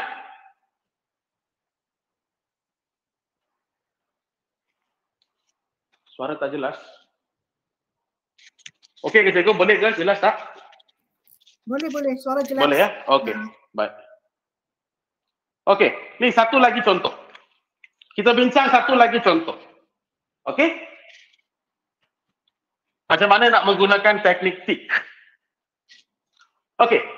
Kebanyakan punca berlakunya penyakit yang dihadapi rakyat di negara ini bermula daripada pengabaian kesihatan diri. Jelaskan cara-cara menjaga kesihatan diri. Tajuknya mudah. Jelaskan cara-cara menjaga kesihatan diri. Jadi dengan jelas kita nampak kesihatan diri ialah tema utama untuk soalan ini. Kesihatan diri. Okey? Dan apa kehendak soalan? Kehendak soalan kita adalah cara-cara. Apakah cara untuk menjaga ke kesihatan diri?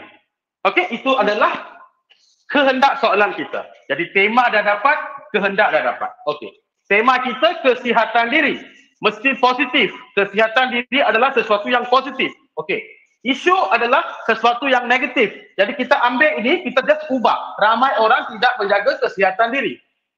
Sama macam tadi, ramai orang tidak suka membaca. Ramai orang tidak menjaga kesihatan diri. Sama saja konsep dia. Okey? Dan ramai orang tidak menjaga kesihatan diri adalah sesuatu yang negatif. Isu. Jadi apa kehendak soalan? Cara-cara, cara-cara menjaga kesihatan diri.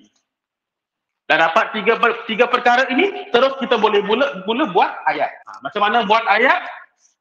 Ha, okey. Kesihatan diri merupakan aspek yang sangat penting kepada manusia.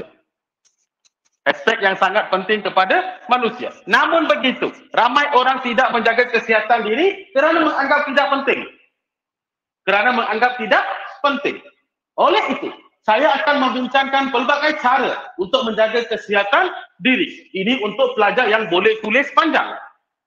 Kalau murid yang tak boleh tulis panjang, namun begitu, ramai orang tidak menjaga kesihatan diri. Nokta. Oleh itu, saya akan menulis pelbagai cara untuk menjaga kesihatan diri. Dok. Sebenarnya, cara untuk menjaga kesihatan diri, murid tak fikir sendiri. Dia ambil daripada soalan. Dia tak fikir sendiri. Oleh itu, penanda wacana oleh itu dia tak fikir sendiri, kita sudah bagi. Namun begitu, dia tak fikir, kita sudah bagi. Ramai orang tidak menjaga kesihatan diri pun dia sudah ambil daripada soalan. Jadi, murid perlu menggabungkan sahaja beberapa idea supaya mendapat satu perenggan yang lengkap. Okey, jadi apabila kita gabungkan tiga-tiga ini, apabila kita gabungkan tiga-tiga ini, ha, dapat macam ini. Ini untuk pelajar yang boleh tulis panjang, ini untuk pelajar yang tak boleh tulis panjang. Okey, kesihatan merupakan aspek yang sangat penting kepada manusia. Namun begitu, ramai orang tidak menjaga kesihatan diri kerana menganggap tidak penting. Oleh itu, saya akan membincangkan pelbagai cara untuk menjaga kesihatan diri. Okey? Ini untuk pelajar yang tak boleh tulis panjang. Kesihatan sangat penting kepada manusia. Mudah kan cikgu? Kesihatan sangat penting kepada manusia. Namun begitu ramai orang tidak menjaga kesihatan diri. Oleh itu saya akan menulis tentang pelbagai cara untuk menjaga kesihatan diri. Okey. Jadi kalau kita kira ni lebih kurang 20 25 macam itu cikgu. 20 25 perkataan. Ini lebih kurang 35 perkataan. Okey? Dan ini cukup untuk murid yang tak boleh tulis panjang untuk mendapatkan titik 4, titik 3. Okey, boleh dapat.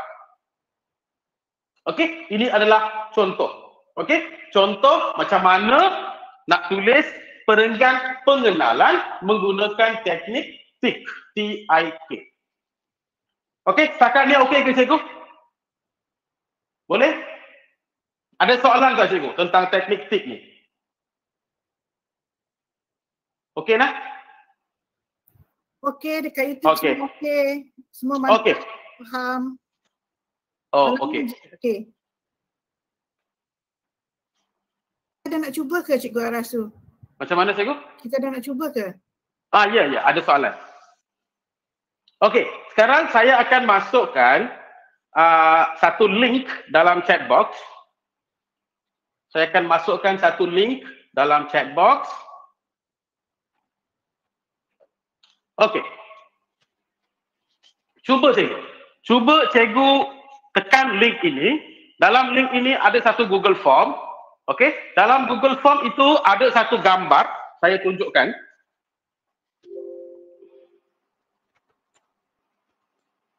Okey. Cikgu tulis email cikgu. Okey. Lepas tulis email, cikgu tulis nama sekolah. Lepas itu, okey. Cikgu lihat gambar ini, baca tajuk, anggapkan. Okey, andaikan murid, uh, andaikan cikgu sebagai murid uh, TP3. Andaikan andaikan cikgu sebagai murid TP3, murid yang lemah. Jadi kita nak tengok macam mana ayat murid lemah. Okey, bolehkah teknik ini betul-betul membantu murid lemah? Okey, baik. Jadi pastikan ayat cikgu ayat murid lemah. Okey, cikgu tulis terus ayat tema. Terus ayat tema, ayat isu, ayat kehendak. Okey, ayat tema, ayat isu, ayat kehendak. Tiga sahaja. Cikgu tulis, lepas tu tekan butang submit. Okey, saya akan tunjukkan contoh macam mana tulis ayat tema, isu dan kehendak. Ah, okey. Cikgu boleh rujuk ini. Ni ayat untuk tema, ayat untuk uh, isu dan ayat untuk kehendak. Okey cikgu? Kita ambil masa lebih kurang 5 minit cikgu. Cikgu boleh jawab?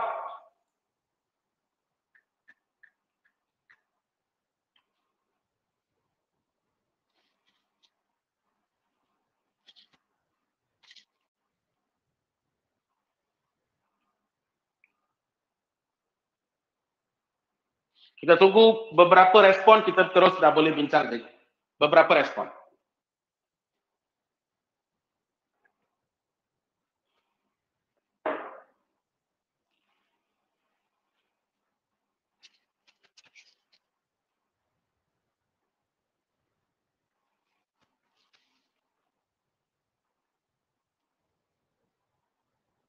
Ayat tema, ayat isu, ayat kehendak.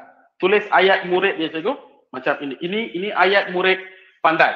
Cikgu cuba tulis ayat murid lemah. So kita lihat. Boleh ke teknik ini membantu? Sebab saya yakin cikgu kita semua ada mengajar murid lemah. Dan fokus bengkel kita hari ini adalah untuk membantu murid lemah. Kita nak membantu murid lemah untuk mendapat sekurang-kurangnya TP3.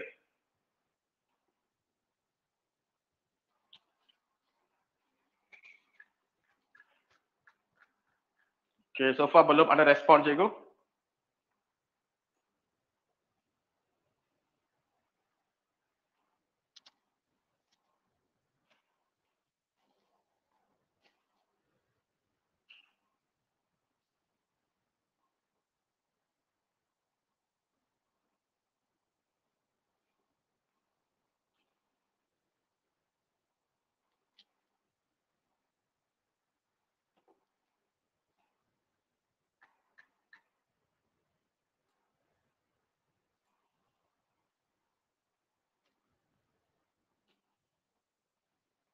Cikgu-cikgu dekat YouTube pun boleh jawab ya.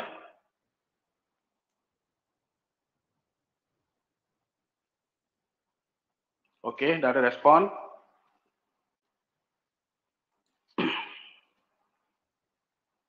Okey, dah ada dua respon.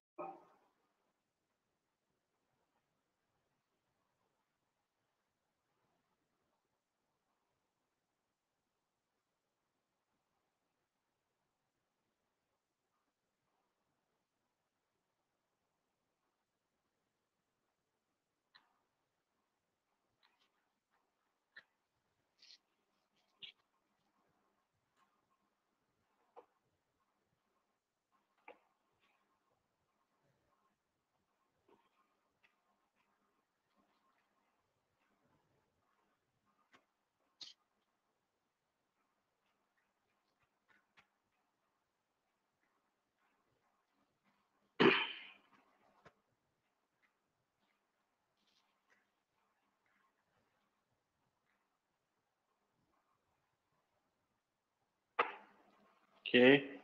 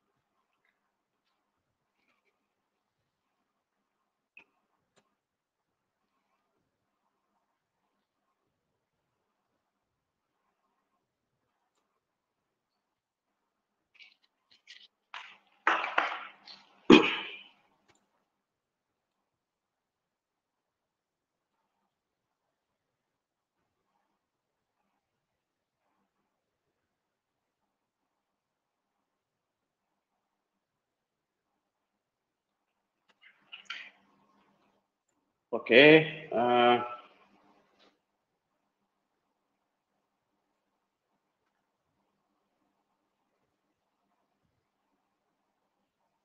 Okey, kita ambil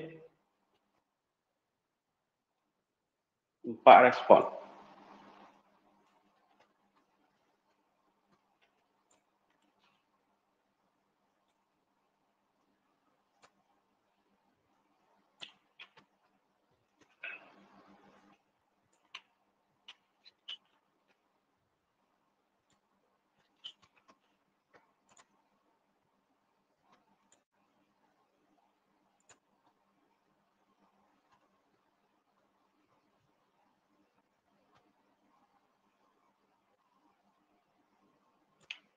Okey.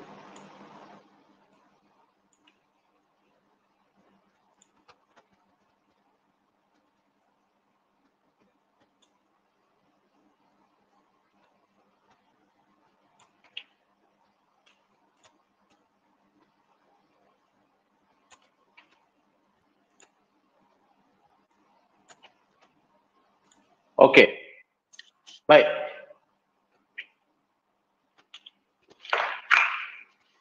Kita lihat kita lihat beberapa jawapan dulu. Okey, beberapa jawapan. Okey. Jadi nombor satu menyertai aktiviti sukan. Menyertai aktiviti sukan, kan saya minta saya go tulis ayat lengkap kan ayat lengkap. Jadi ini bukan ayat lengkap. Ini bukan ayat lengkap. Sukan amat penting untuk manusia. Ah ini betul. Sukan amat penting untuk manusia. Jadi tema dia ialah sukan. Tema untuk tajuk ini ialah sukan.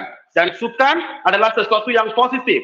Jadi sukan sangat penting kepada manusia. Senang. Ini ayat, ini memang ayat murid. Okey, ayat murid. Sukan amat penting untuk manusia. Okey, kita boleh ambil ini.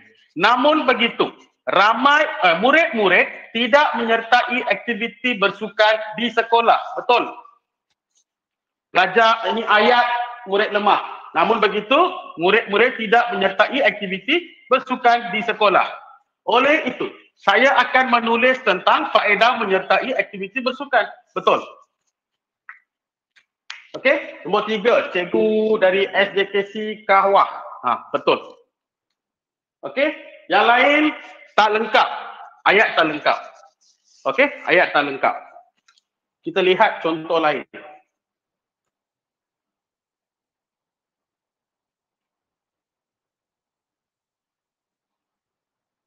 Okey, kita ambil. Okey, kita ambil ni.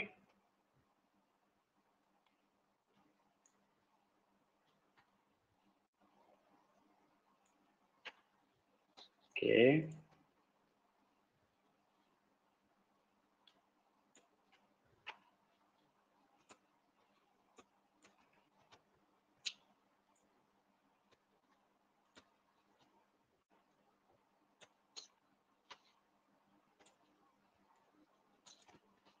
Okey, kita lihat contoh ni.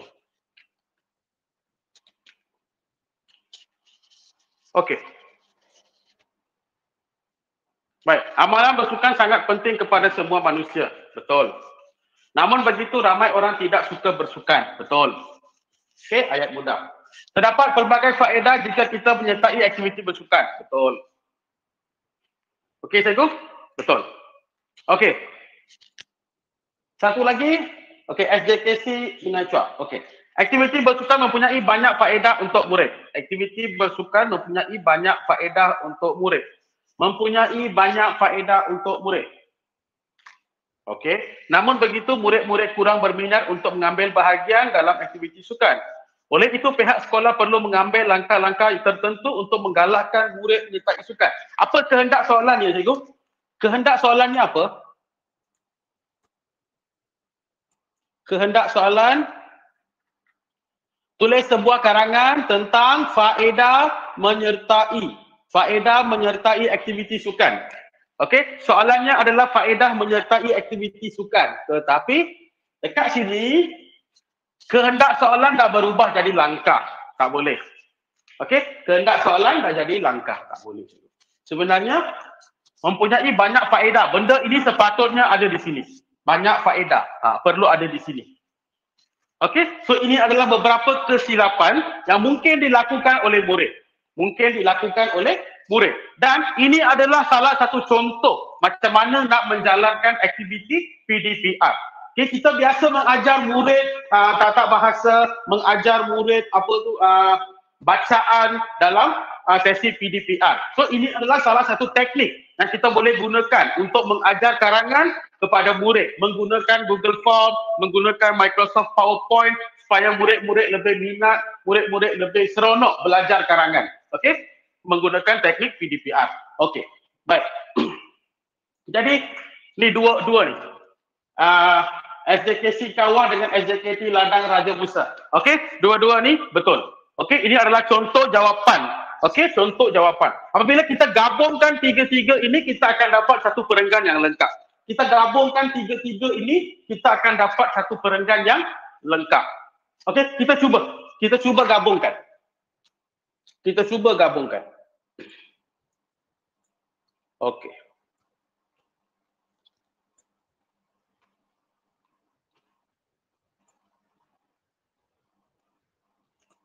Kita cuba gabungkan.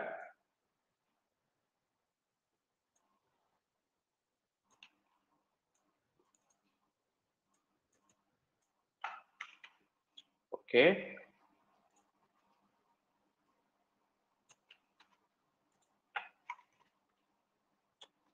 Okey. So ini adalah satu perenggan lengkap. Satu perenggan lengkap.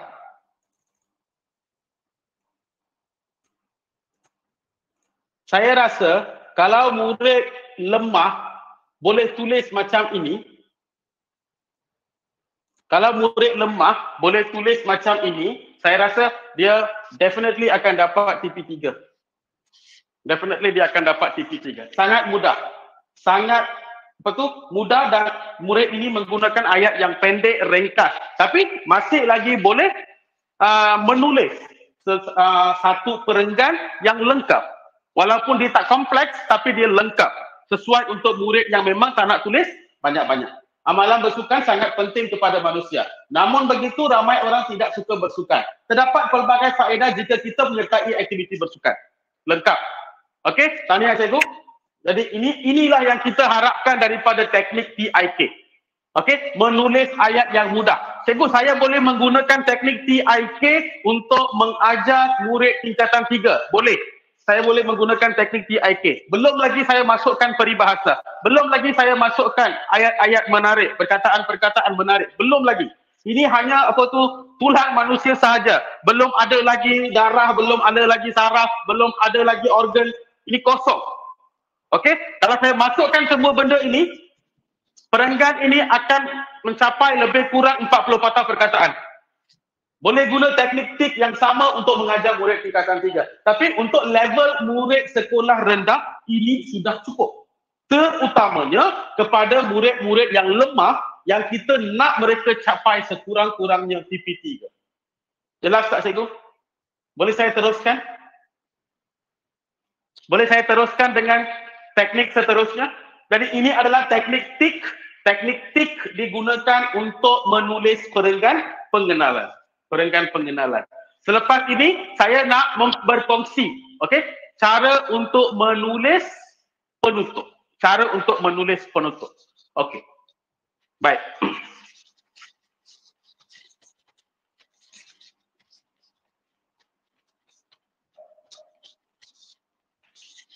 Okey, cara untuk menulis penutup.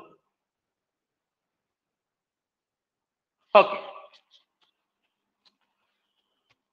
Nak menulis penutup ni pun cikgu senang sangat. Sangat-sangat senang untuk menulis penutup untuk sesebuah karangan. Saya belum lagi masuk bahagian isi cikgu. Saya dah memperkenalkan macam mana nak buat pengenalan. Sekarang saya nak terus kepada penutup. Sebab dua-dua ada uh, ada connection. Okey, ada uh, ada idea yang kita boleh dapat daripada teknik uh, tik untuk menulis teknik kecaha. Senang saja. Kesinambungan Cikgu Arasu. Ya, cikgu? Kesinambungan. Kesinambungan. Yes, kesinambungan. Okey. Teknik kecaha digunakan untuk menulis penutup. Teknik kecaha digunakan untuk menulis penutup. Apa itu kecaha? Ke maksudnya kesimpulan. Ca maksudnya cadangan. Ha maksudnya harapan. Okey? Kesimpulan, cadangan, harapan. Tiga ayat sahaja. Tiga ayat sahaja untuk menulis satu penutup yang lengkap. Okey, murid hanya perlu menulis tiga ayat sahaja. Maklumat untuk penutup boleh diambil dari teknik tik. Maklumat untuk kita menulis kecaha ini, maklumat dia boleh ambil daripada teknik tik. Macam mana? Okey. Okey, cara mendapatkan maklumat dari teknik tik. Senang cikgu. Tadi kita tulis tik, T-I-K. Sekarang kita nak tulis kecaha. Okey. Ayat yang kita guna untuk tulis kehendak ni, kita boleh ambil dan jadikan sebagai kesimpulan. Okey? Benda yang kita, maklumat yang kita guna untuk tulis isu, kita boleh gunakan untuk menulis harapan. Boleh guna untuk menulis harapan. Macam mana tulis ca, cadangan? Kita gunakan teknik SAM. Apa itu teknik SAM? Nanti saya akan terangkan. Senang saja aja. Okey?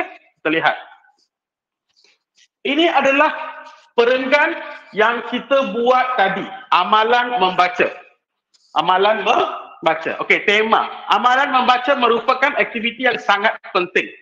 Ayat pertama, ayat isu. Namun begitu ramai orang tidak suka membaca kerana menganggap tidak penting. Ayat kehendak. Oleh itu saya akan membincangkan pelbagai kebaikan membaca. Ini adalah tiga ayat yang kita tulis dalam bahagian tik. Macam mana nak ambil benda ini, kita convert menjadi kesimpulan. Senang je.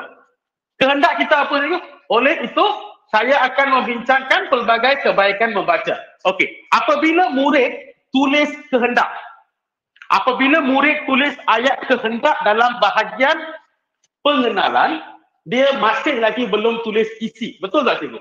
Secara logiknya, dia belum lagi tulis isi. Dia dah habis pengenalan. Belum lagi mulakan isi. Oleh sebab dia belum mula isi, so dia tulis perkataan akan. He is going to write. Going to write. Akan menulis. Dan apabila murid itu menulis penutup, secara logiknya murid itu sudah tulis isi. Isi satu dah tulis, isi dua dah tulis, isi tiga dah tulis, sekarang nak tulis penutup. Bermaksud dia already, dia sudah pun tulis isi. Sini dia akan tulis isi. Faham tak saya perbezaan dia? Ayat ketiga di bahagian pengenalan, he is going to write.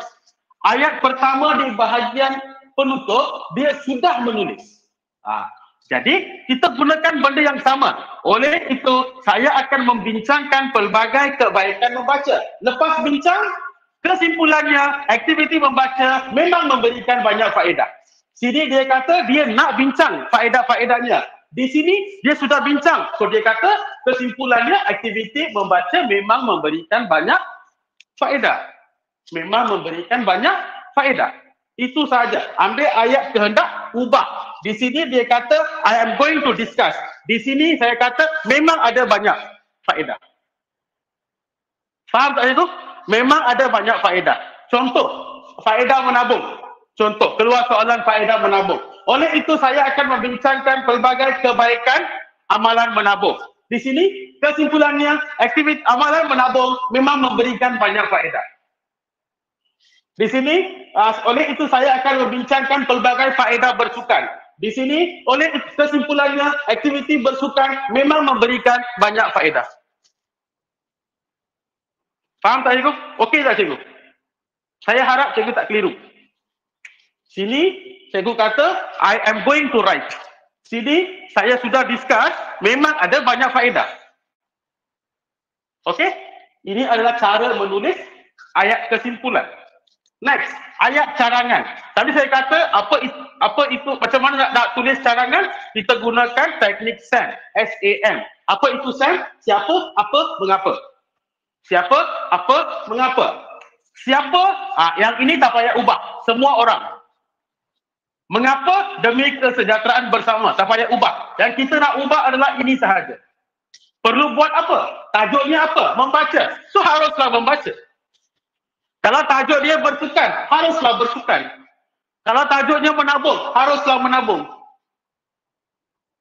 Okey, perlu buat apa? Siapa, buat apa, mengapa? Semua orang haruslah membaca demi kesejahteraan bersama. Semua orang haruslah bersukan demi kesejahteraan bersama. Semua orang haruslah menjaga kesihatan demi kesejahteraan bersama. Semua orang haruslah menjaga keselamatan diri demi kesejahteraan bersama. Okey cikgu, boleh tak? Jadi konsep dia sama je. SAM. Semua orang buat apa untuk apa? Demi kesejahteraan bersama. Jadi warna hijau ini tak payah tukar. Yang kita nak tukar warna biru sahaja. Jadi kita ambil tiga-tiga ini jadikan satu ayat. Semua orang haruslah membaca demi kesejahteraan bersama. Ini adalah cadangan. Cadangan. Free advice. Okay? Free advice. Semua orang buatlah benda ini. Uh, buatlah cadangan. Okay? Baik. Harapan. Macam mana? Apa maksud harapan sebenarnya? Apa maksud harapan itu? Secara logiknya, harapan adalah solution kepada masalah yang saya hadapi solution kepada masalah yang saya hadapi. Contohlah, masalah saya, murid saya ni tak boleh menulis karangan. Apa harapan saya? Saya nak mereka semua tulis karangan dengan baik. Itu harapan saya.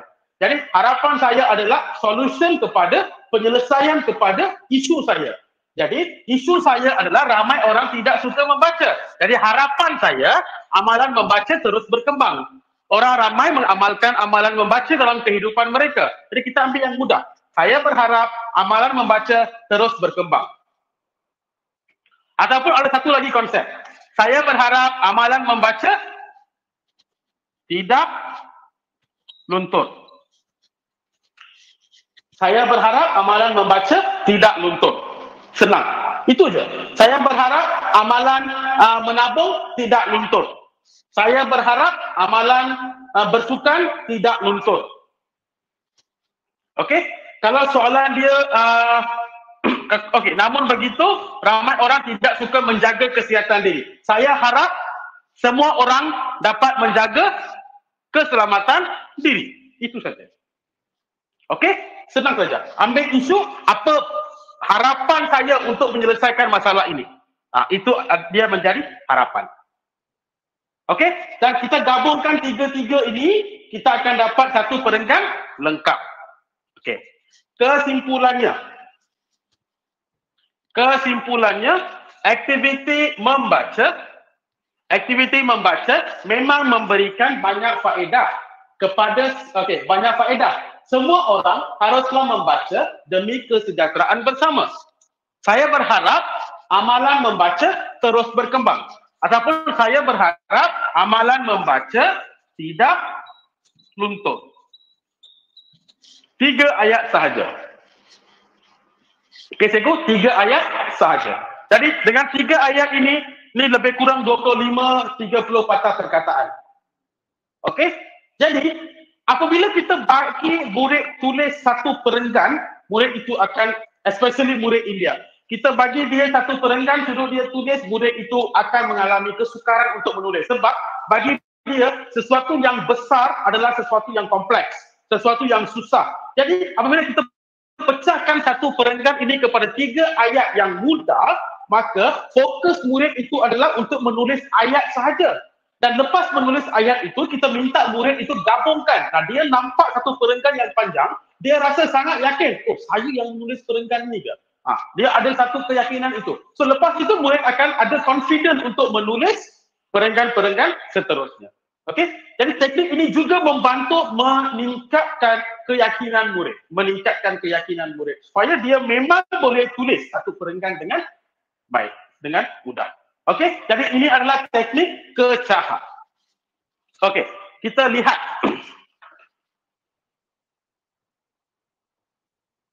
satu lagi. Kita lihat satu lagi contoh. Okey, tadi tema isu kehendak. Okey, untuk soalan kesihatan. Baik, kesihatan diri merupakan aspek yang sangat penting kepada manusia.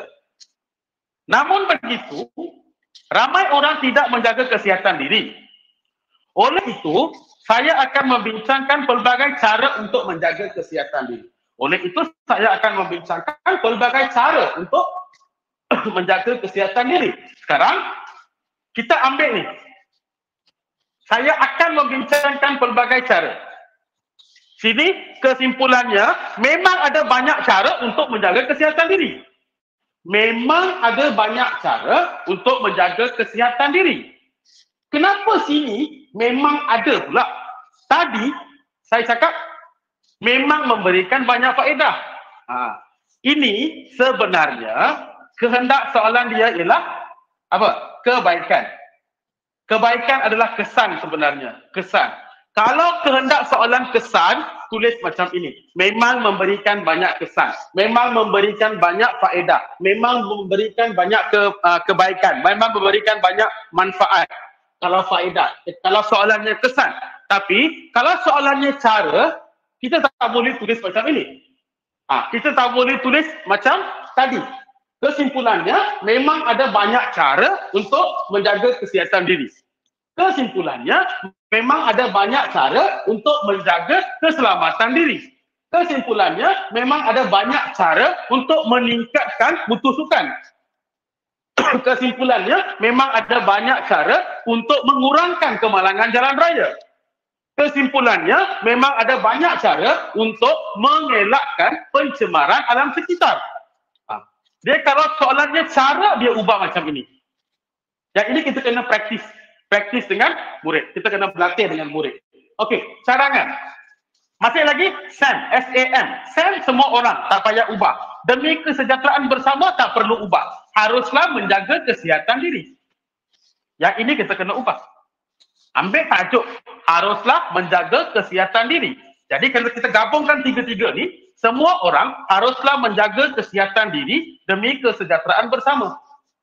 Dapat ayat cadangan. Harapan. Apa masalah saya? Ramai orang tidak menjaga kesihatan diri.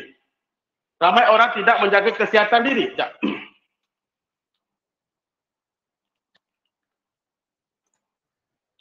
Okey, ramai orang tidak menjaga kesihatan diri. Saya berharap saya berharap rakyat Malaysia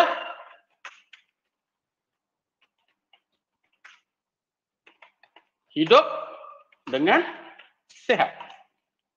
Saya berharap rakyat Malaysia hidup dengan sehat. Jadi ini adalah harapan saya untuk berdasarkan isu ini. Isu saya, masalah saya dekat sini, ramai orang tak nak jaga kesihatan diri. Jadi apa harapan saya? Saya harap rakyat Malaysia dapat hidup dengan sehat. Faham tak Cikgu?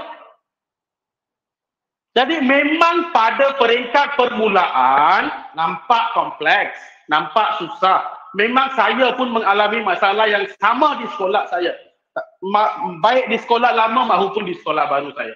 Okey, saya mengalami masalah yang sama. Tapi lama kelamaan, benda ini sudah jadi biasa dalam kelas saya. Saya bagi kertas, murid tak boleh tulis.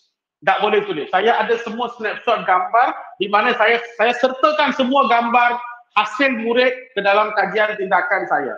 Okey, dalam itu ada semua uh, hasil-hasil murid yang murid saya uh, buat.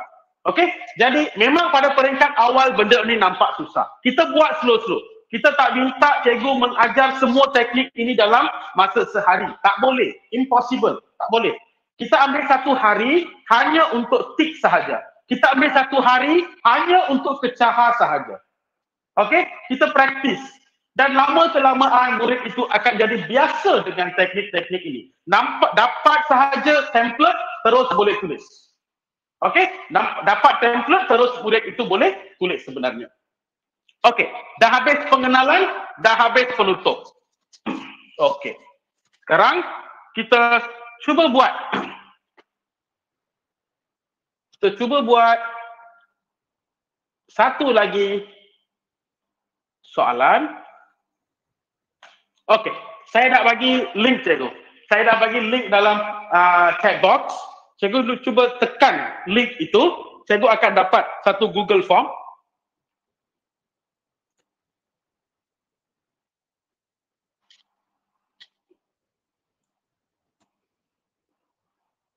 Okey, cikgu akan dapat satu Google Form.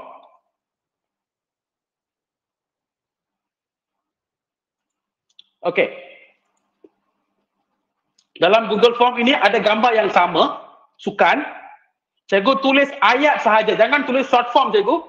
Jangan tulis isi sahaja, tulis ayat lengkap. Ayat lengkap. Okey?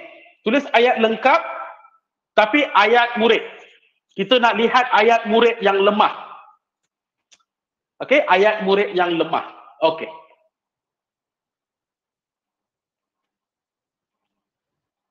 Baik, boleh mula cikgu.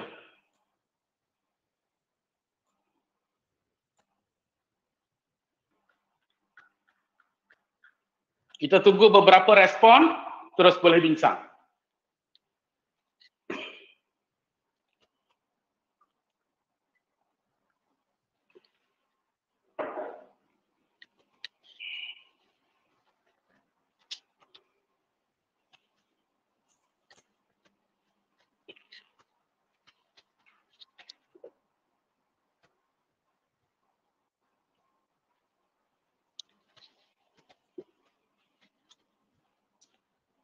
Ayat simple je cikgu, ayat simple.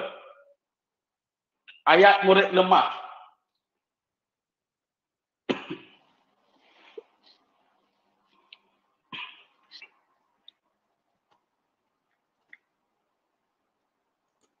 Okey, belum ada respon lagi.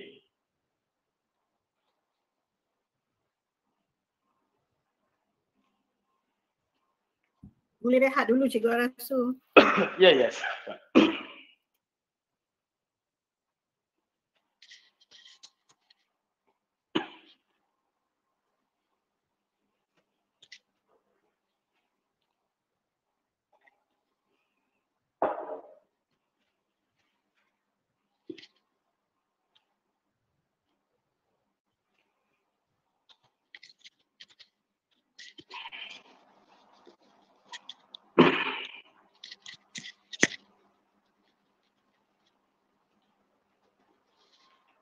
Okey, dah ada satu respon. Okey. Mahkota ceras. Okey, dah ada dua.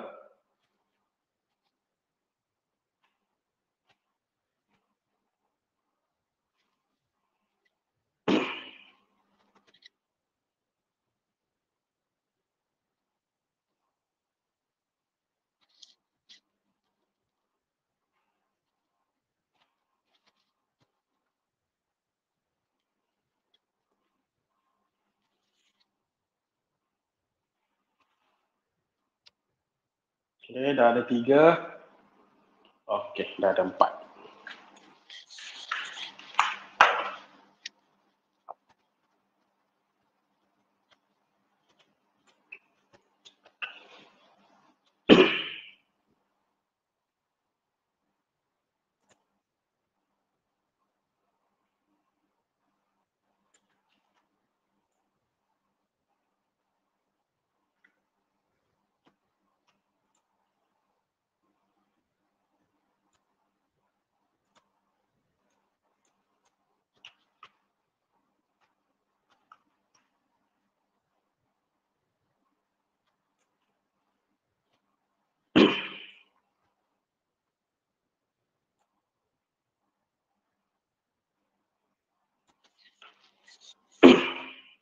Okey. Baik, kita lihat beberapa contoh jawapan daripada uh, murid yang lemah. Okey, ini adalah kita andaikan ini adalah daripada jawapan murid-murid yang lemah. Okey, nombor satu.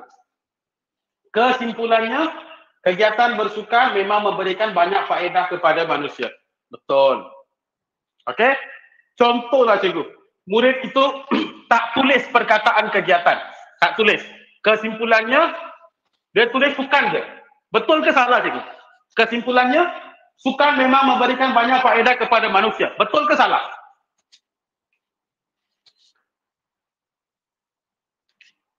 Boleh masukkan dalam chat box cikgu. Betul ke salah?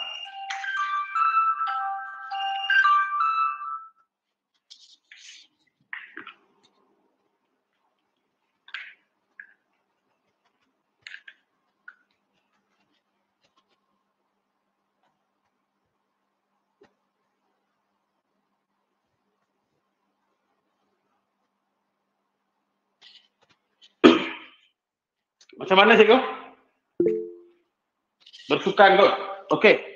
Kesimpulannya, sukan memang memberikan banyak faedah kepada manusia. Diterima cikgu? Boleh, betul. Tak ada masalah. Kesimpulannya, sukan memang memberikan banyak faedah kepada manusia. Sukan ialah kata nama cikgu. Bersukan baru kata kerja. Okey, jadi sukan kata nama. Sukan memang memberikan banyak faedah, betul.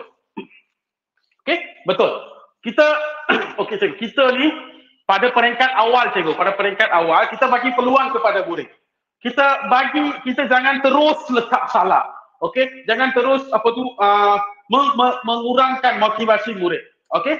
Apa-apa benda yang boleh diterima asalkan benda itu betul kita bagi saja cikgu betul. Okey? Bersukan tak ada masalah, boleh. Okey? Boleh. Kesimpulannya aktiviti bersukan Aktiviti bersukan memang memberikan banyak faedah kepada manusia. Contoh, kesimpulannya membaca memang memberikan banyak faedah. Dia sepatutnya aktiviti membaca ataupun amalan membaca. Kalau bersukan, bersukan ialah kata kerja. So depan kita letak aktiviti atau kegiatan. Okey, aktiviti bersukan, kegiatan bersukan. Ha, baru baru dia tepat. Okey? Baik. Semua orang haruslah bersukan demi kesejahteraan bersama. Betul. Saya berharap amalan bersukan tidak luntur. Betul. Ini ayat murid yang lemah. Okey? bersukan sangat bagus. Kesimpulannya. Sukan sangat bagus kepada manusia. Betul tak cikgu? Kesimpulannya, sukan sangat bagus kepada manusia ataupun sukan sangat bagus untuk manusia. Okey cikgu. Kan? Kan? Dia nama pun murid yang lemah. Okey? Dia tulis sukan sangat bagus kepada manusia. Betul? Okey? Tak kesalahan. Okey. Kita hendaklah rajin bersukan. Carangan. Kita hendaklah rajin bersukan. Betul? Apabila bersukan, badan kita akan sehat. Badan kita akan sehat. Adakah ini harapan cikgu? Adakah ini harapan? Apabila bersukan, badan kita akan sehat. Badan kita akan sehat ini adalah isi. Betul tak cikgu? Sukan dapat menyehatkan badan kita, isi. Kalau murid, andai kata, murid sudah tulis isi ini di bahagian uh, bahagian isi, perenggan dua ke, perenggan tiga ke, okey, murid dah tulis. Dan kita ulang balik benda yang sama dekat sini. Ah, inilah inilah namanya isi ulangan. Kita ulang balik apa yang kita tulis di perenggan atas. Okey? Sebenarnya ini adalah isi untuk karangan ini. Isi untuk topik ini. Badan kita akan sihat. Okey? So ini bukan harapan. Okey. Kesimpulannya, aktiviti bersukan memang memberikan banyak faedah. Okey? Semua murid haruslah menyertai aktiviti sukan. Betul? Saya berharap aktiviti bersukan di sekolah terus berkembang. Betul? Okey? Kesimpulannya memang ada banyak faedah menyertai aktiviti bersukan. Betul? uh, semua orang harus menyertai aktiviti bersukan demi kesejahteraan bersama. Betul? Saya berharap semua murid menyertai aktiviti bersukan di sekolah setiap tahun. Betul? Okey? Betul. Aktiviti sukan memang memberikan banyak faedah kepada kita semua. Okey? Ni adalah ni typing error lah. Okey? Tak apa. Semua murid harus menyertai aktiviti sukan demi kesejahteraan bersama. Okey. Saya berharap aktiviti sukan terus berkembang. Betul. Ha. So, yang ini membuktikan cikgu-cikgu faham. Cikgu-cikgu faham macam mana nak menggunakan teknik kecaha untuk menulis penutup. Okey, cikgu? Saya saya saya yakin cikgu sudah jelas. Okey, bahagian ini. Baik, kita teruskan. Kita teruskan dengan perkara seterusnya ataupun teknik seterusnya. Okey, kita sudah lihat pengenalan, kita sudah lihat penutup. Sekarang kita akan lihat macam mana tulis bahagian isi. Nah, ini yang penting. Ini yang penting. Bahagian isi ini sangat-sangat penting. Cikgu, kita ataupun masa saya belajar di sekolah, cikgu BM bagi tahu saya, Cikgu BM saya bagi tahu saya tak boleh ada kesalahan ejaan, tak boleh ada kesalahan kata bahasa. Kalau ada banyak-banyak kata bahasa, maka semua akan dipotong. Memang saya diajar macam itu. Tapi apabila kita lihat sekarang, kesalahan ejaan dan tata bahasa tidak akan memberikan uh, impak yang tinggi.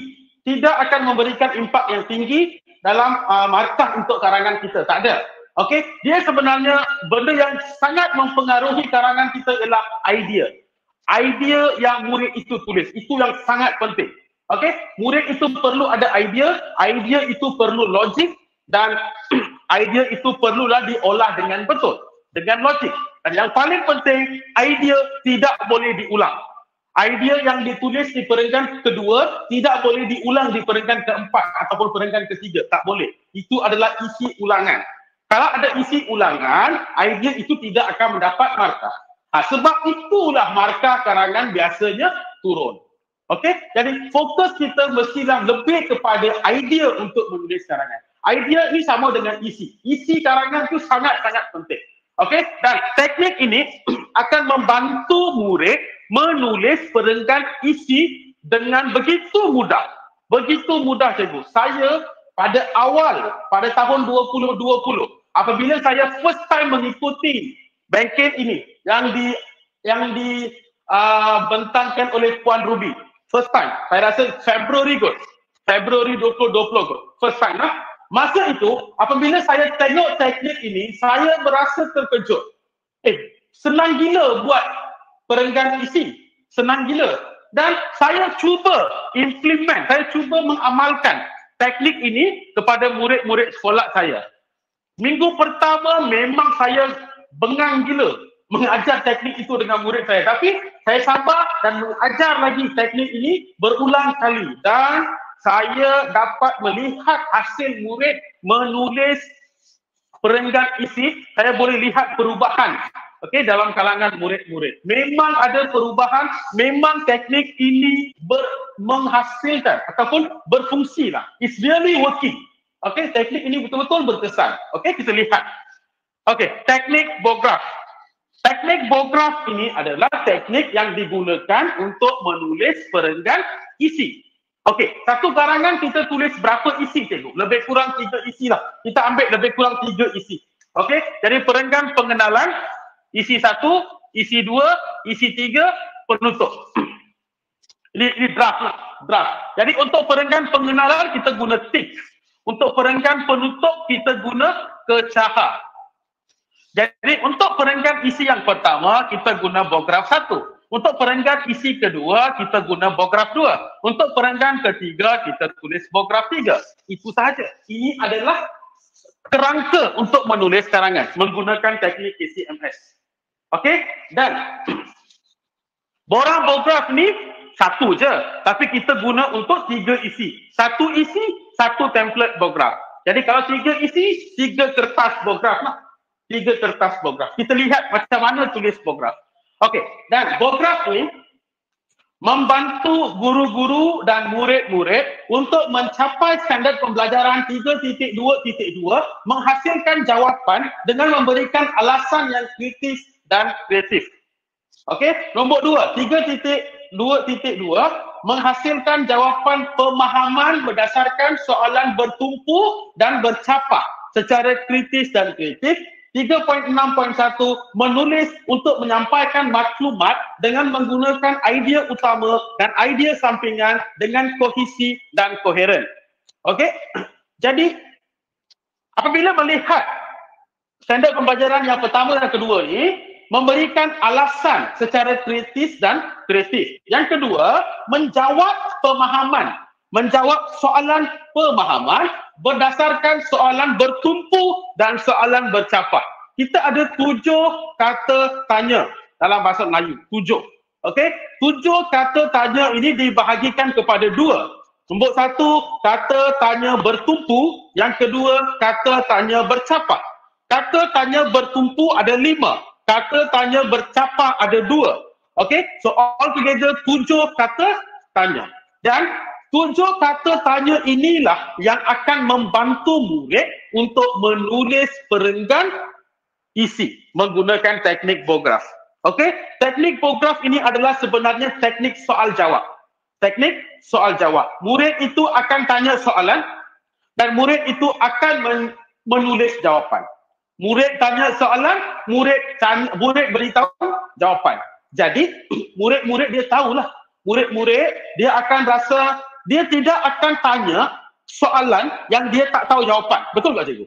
Dia akan cuba tanya sebuah soalan yang dia tahu jawapan. Itu logik.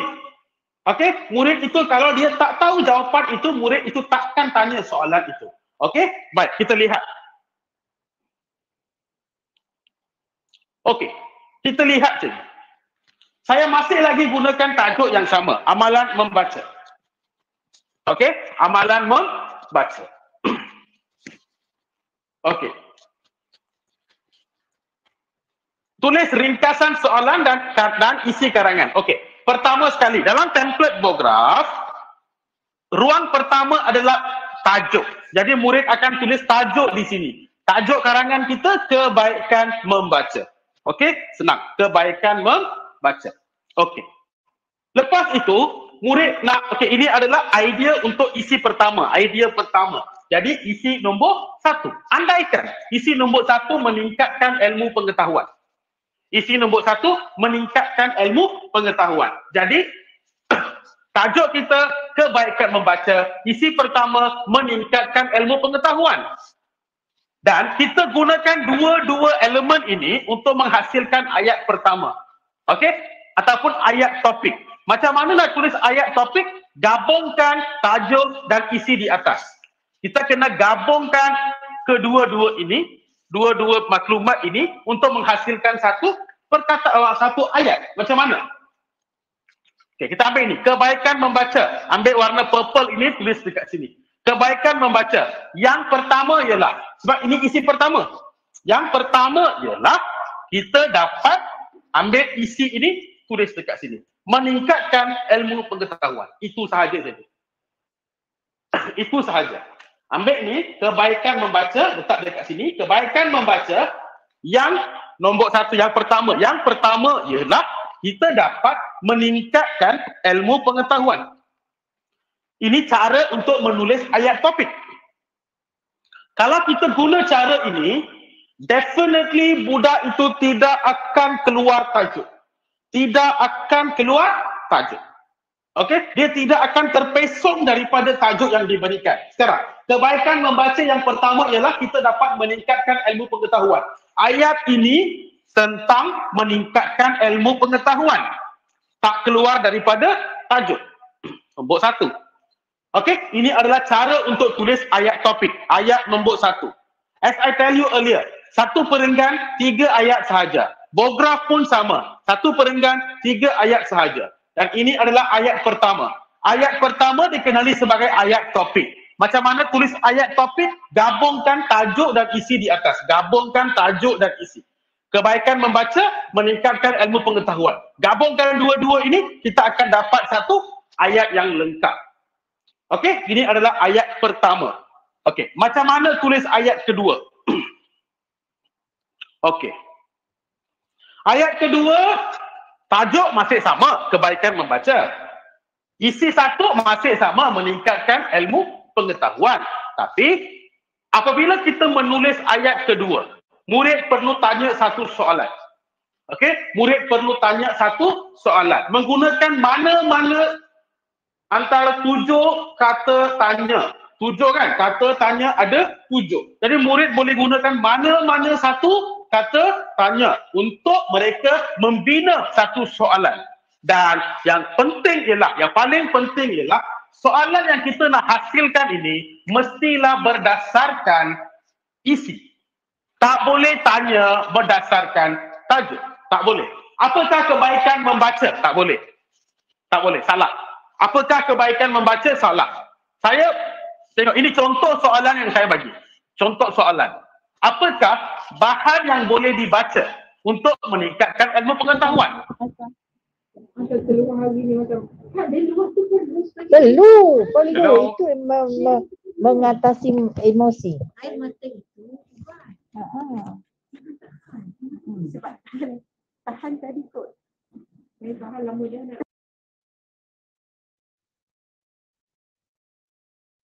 Cikgu Arasu, Cikgu Arasu mute. Suara tak dengar cikgu. Cikgu Arasu tolong unmute. Unmute kan ke? Unmute kan? Boleh eh? Okey, okey, okey. Okey, boleh. Okey. Baik. Kita lihat ini adalah contoh soalan yang saya bagi. Saya gunakan kata tanya apakah. Simple, apakah? Apakah bahan yang boleh dibaca untuk meningkatkan ilmu pengetahuan? Jadi fokus saya adalah isi. Meningkatkan ilmu pengetahuan. Apakah bahan yang boleh dibaca untuk meningkatkan ilmu pengetahuan? Jadi jawapan saya senang je. Kita boleh membaca buku, surat khabar dan majalah untuk meningkatkan ilmu pengetahuan. Okey, soalan yang murid itu tanya mestilah logik. mestilah logik. Janji logik, janji dapat jawapan. Janganlah tanya sesuatu soalan yang murid tak tahu jawapan. Kan? Murid tanya soalan, murid tak tahu jawapan. Ha, tak boleh macam itu. Okey? Jadi, apakah bahan yang boleh dibaca untuk meningkatkan ilmu pengetahuan? Kita boleh membaca buku, surat khabar dan majalah untuk meningkatkan ilmu pengetahuan. Jadi, jawapan saya ini masih lagi tentang meningkatkan ilmu pengetahuan. Betul tak cikgu? Masih lagi tentang ilmu pengetahuan. Jadi saya tak keluar tajuk. Saya masih lagi dalam isi ini. Saya tak keluar isi. Okey, pada peringkat permulaan, pada peringkat permulaan, murid-murid akan mengalami kesukaran untuk menghasilkan soalan. Kesukaran untuk menghasilkan soalan. Okey, untuk beberapa topik pada peringkat awal kita kita memberikan soalan kepada murid. Kita kita ajar murid macam mana nak menghasilkan soalan. Dan daripada soalan itu murid menghasilkan jawapan. Okey, dan ini adalah ayat kedua. Kita boleh membaca buku, surat khabar dan majalah untuk meningkatkan ilmu pengetahuan. Okey, baik. Sekarang ayat ketiga. Ayat ketiga, masih lagi kebaikan membaca, masih lagi isi pertama meningkatkan ilmu pengetahuan, tapi kali ini saya tukar soalan. Saya tanya satu lagi soalan berdasarkan meningkatkan ilmu pengetahuan. Tadi saya guna apakah? Sini pun kita tak boleh guna apakah. Kita gunakan kata tanya yang lain. Contoh, mengapakah kita harus meningkatkan ilmu pengetahuan? Why? Kenapa? Kenapa kita perlu meningkatkan ilmu pengetahuan? Dan saya highlight di sini. Masih lagi soalan saya berdasarkan isi. Nampak tak cikgu? Jadi jawapan saya, kita haruslah meningkatkan ilmu pengetahuan agar dapat menjadi lebih pandai. Agar dapat menjadi lebih pandai. Jawapan kepada soalan ini, kenapa kita perlu meningkatkan ilmu pengetahuan? Sebab dapat jadi lebih pandai. Okey, dah ada tiga ayat. Sekarang kita ambil ayat pertama, ambil ayat kedua dan ambil ayat ketiga, gabungkan menjadikan satu perenggan yang lengkap. Ayat pertama, kebaikan membaca yang pertama ialah kita dapat meningkatkan ilmu pengetahuan. Ayat pertama, ayat topik. Kita boleh membaca buku, surat khabar dan majalah untuk meningkatkan ilmu pengetahuan. Kita haruslah meningkatkan ilmu pengetahuan agar dapat menjadi lebih pandai. Ambil tiga ayat itu, letak gabungkan jadi satu perenggan. Jadi kita sudah dapat satu perenggan isi. Okey cikgu? Dapat satu perenggan isi. Okey. Seterusnya. Okey, ini satu lagi soalan. Satu lagi perenggan. Kita cuba. Satu lagi perenggan. Tajuk ini, cara menjaga kesihatan diri. Cara menjaga kesihatan diri. Dan andai katalah ini isi kedua. Isi kedua. Makan makanan seimbang. Makan makanan seimbang. Jadi cara untuk menjaga kesihatan diri ialah makanan makan makanan seimbang. Okey. Macam mana nak gabungkan dua-dua ini dapat satu ayat topik. Selain itu, sebab ini isi dua. Selain itu, cara menjaga kesihatan diri yang kedua, yang kedua ialah kita haruslah ambil ni makan makanan seimbang. Just ambil fill in the blanks, itu saja. Dah dapat ayat topik. Sekarang kita bina dua soalan. Kita bina dua soalan berdasarkan makan makanan seimbang. Dua soalan. Macam mana nak membina dua soalan? Okey, ini soalan pertama apakah makanan yang perlu kita makan untuk menjaga kesihatan? Apakah makanan yang perlu kita makan untuk menjaga kesihatan? Apakah makanan? Kita perlulah makan sayur-sayuran dan buah-buahan untuk menjaga kesihatan diri. Apa itu? Jadi, jawapan saya adalah, saya fokus saya adalah sayur-sayuran dan buah-buahan. Sayur-sayuran dan buah-buahan adalah makanan yang seimbang. Jadi kita perlulah makan sayur-sayuran dan buah-buahan untuk menjaga kesihatan diri. Saya menggunakan kata tanya apakah. Okey, ayat ketiga. Ayat ketiga Mengapakah? Mengapakah kita harus makan makanan seimbang? Saya gunakan kata tanya mengapakah? Mengapakah kita harus makan makanan seimbang? Saya masih lagi cakap tentang isi kita haruslah makan makanan seimbang untuk mengelakkan obesiti. Untuk mengelakkan obesiti. Kita tak boleh tulis. Kita haruslah makan makanan seimbang untuk menjaga kesihatan diri. Tak boleh. Untuk menjaga kesihatan diri. Tak boleh. Bermaksud kita ulang balik tajuk dekat sini. Tak boleh. Kita kena tulis something else yang logik. Kita haruslah makan makanan seimbang untuk mengelakkan obesiti.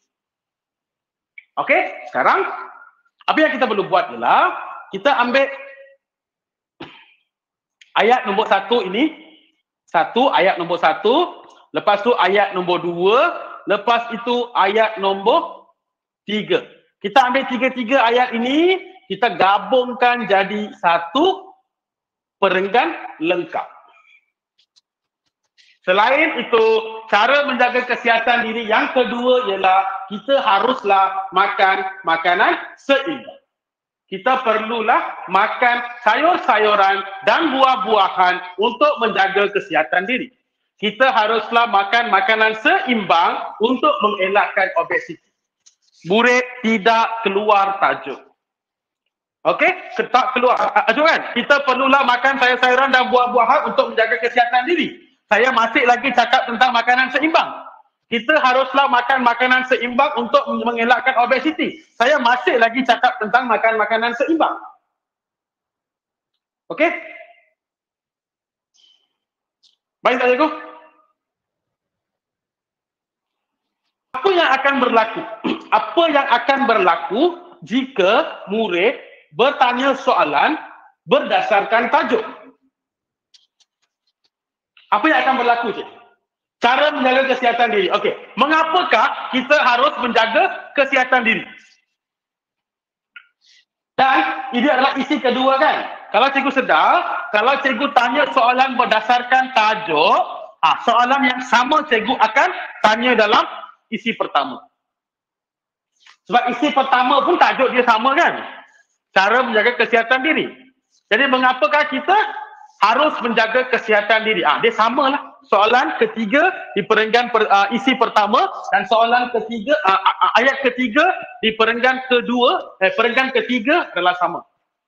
Okey, ayat ketiga di isi pertama, ayat ketiga di isi kedua adalah sama. Jadi akan berlaku pengulangan ayat ataupun pengulangan isi dalam sesebuah karangan. Sebab itu kita kata jangan tanya soalan berdasarkan tajuk. Tanya soalan berdasarkan isi. Okey tak cikgu? Jadi kalau cikgu lihat sini, kalau cikgu lihat sini, seperti mana saya bagi tahu tadi dalam bahagian tik dan kecahat, ini adalah perenggan bagaikan tulang sahaja. Tulang manusia sahaja. Belum ada organ, belum ada darah, belum ada saraf, tak ada apa-apa. Kosong. Bermaksud belum ada peribahasa, belum ada kata-kata hikmat, belum ada ayat-ayat menarik, kosong. Dan perenggan yang kosong macam ini pun boleh sampai 25 patah perkataan. Kosong. Dan cuba bayangkan kalau saya masukkan peribahasa, saya masukkan ayat-ayat menarik, boleh capai 40. Boleh capai 40. Jadi dia terpulang kepada kapasiti murid itu, berapa banyak dia boleh tulis. Kalau murid itu memang lemah, jangan kita harapkan murid itu tulis 40 patah perkataan. 20 pun jadi. Bagi saya 20 perka 20 patah perkataan lebih baik daripada hantar kertas kosong. Bagi saya. Okey, tulis sikit lebih baik daripada hantar kertas kosong. Okey, kita dah belajar tik, dah belajar bograf, dah belajar kecahat. Sekarang, macam mana nak gabungkan tiga-tiga ni? Macam mana nak gabungkan tiga-tiga ini? Okey, penggabungan teknik tik bograf kecahat. Kebaikan membaca. Tengok. Ini adalah pengenalan menggunakan teknik tik. Ini adalah bahagian isi menggunakan teknik bograf. Ini adalah bahagian kesimpulan ataupun penutup menggunakan teknik kecahat. Okey, dan di sini Bograf ada satu sahaja sebab saya hanya tunjukkan satu contoh sahaja. Jika ada tiga isi, maksudnya tik, bograf, bograf, bograf, kecahah. Faham tak kelas? Eh sorry, faham, faham tak cikgu? Tik, bograf satu, bograf dua, bograf tiga, kecahah. Dapat satu karangan lengkap.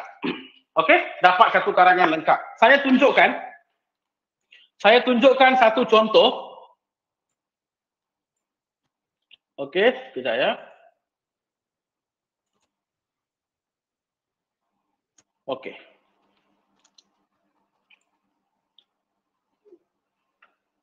Okey, saya cuba lihat. Ini adalah satu borang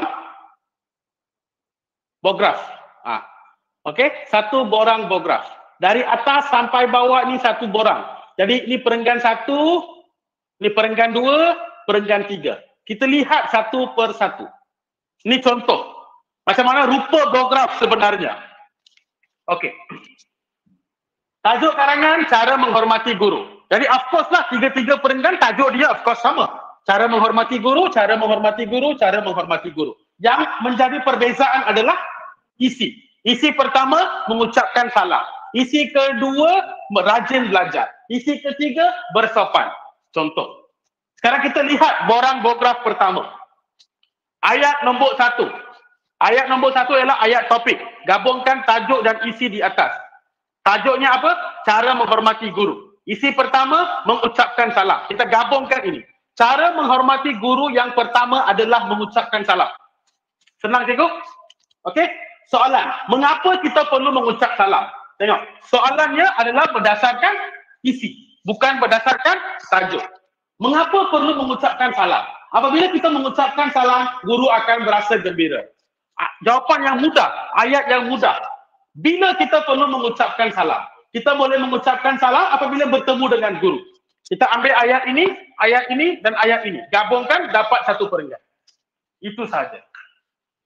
Okey, kita akan dapat satu perenggan yang lengkap. Dan ini isi kedua pula. Isi kedua. Tajuk cara menghormati guru. Isi yang kedua, rajin belajar. Kita gabungkan dua-dua ini selain itu. Sebab ini isi kedua. Selain itu, cara menghormati guru yang kedua adalah rajin belajar. Soalan pertama, kenapa perlu rajin belajar? Soalan saya berdasarkan isi. Kenapa perlu rajin belajar? Apabila kita rajin belajar, kita akan menjadi orang yang berjaya. Di mana perlu rajin belajar? Kita perlu rajin belajar terutamanya ketika guru mengajar. Jadi ambil ayat pertama, ayat kedua, ayat ketiga. Jawapan saja. Ambil jawapan, gabungkan, dapat satu perenggan lengkap. Okey? Dan seterusnya.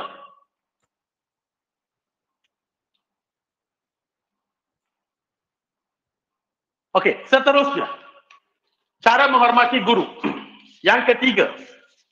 Cara menghormati guru yang ketiga, bersopan. Okey, cara menghormati guru yang terakhir.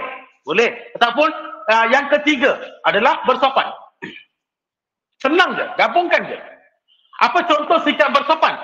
Contoh kita bersopan seperti bercakap lemah lembut dengan guru. Di mana perlu bersopan? Kita perlu bersopan di sekolah atau di luar kawasan sekolah. Gabungkan tiga-tiga jawapan ini dapat satu perenggan. Dan kita ambil perenggan satu, perenggan dua, perenggan tiga, jadikan satu karangan. Tulis pengenalan, tulis penutup, isi satu, isi dua, isi tiga. Ataupun bograf satu, bograf dua, bograf tiga. Jadikan satu karangan. Ini adalah cara untuk menghasilkan satu karangan menggunakan teknik tik, bograf dan kecahan. Okey, saya nampak tak? Ini adalah satu template bograf. Satu template bograf. Okey? Baik.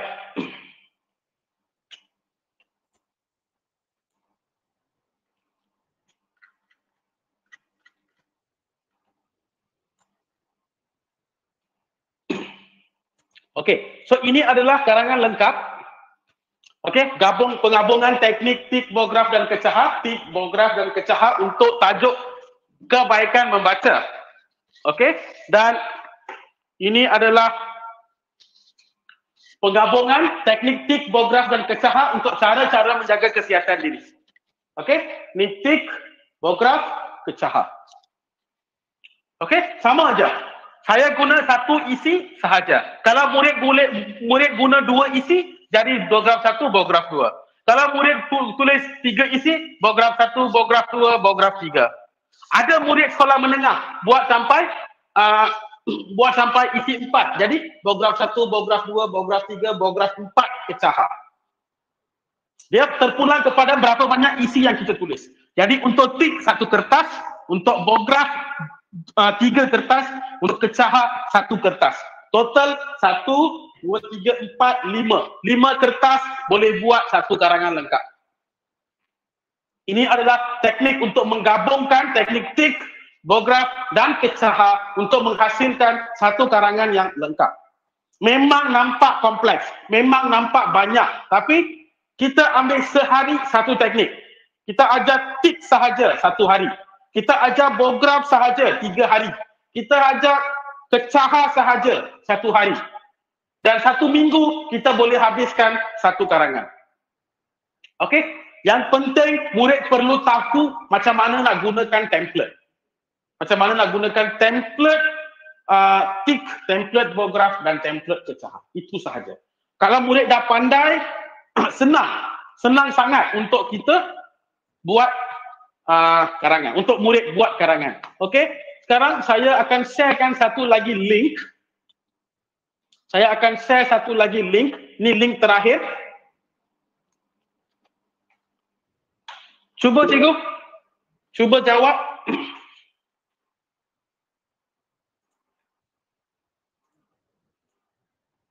Okey, cuba jawab. Masih lagi soalan yang sama. Cikgu boleh pilih mana-mana isi.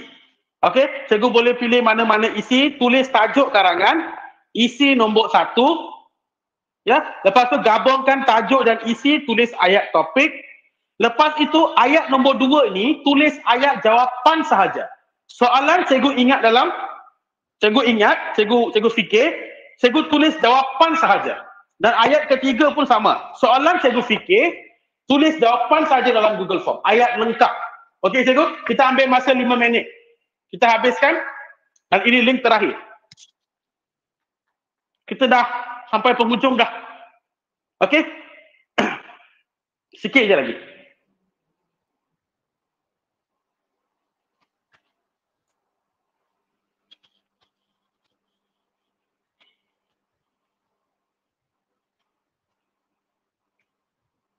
Silakan jawab cikgu.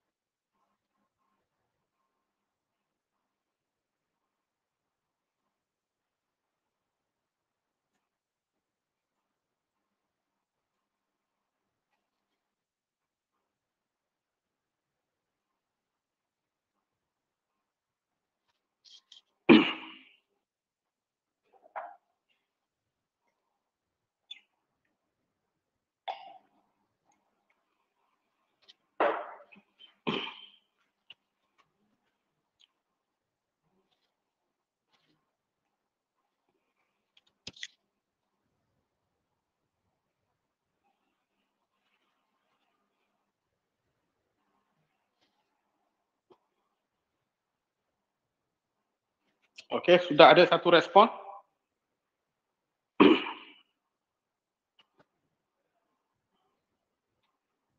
Okey, SJK ladang Ampar Tenang.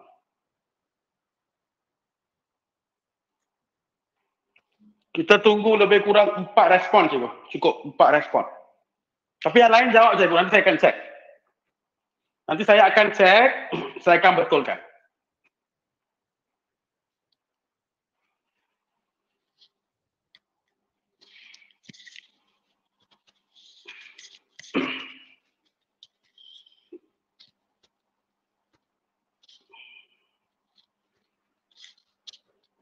Okey, dah ada dua.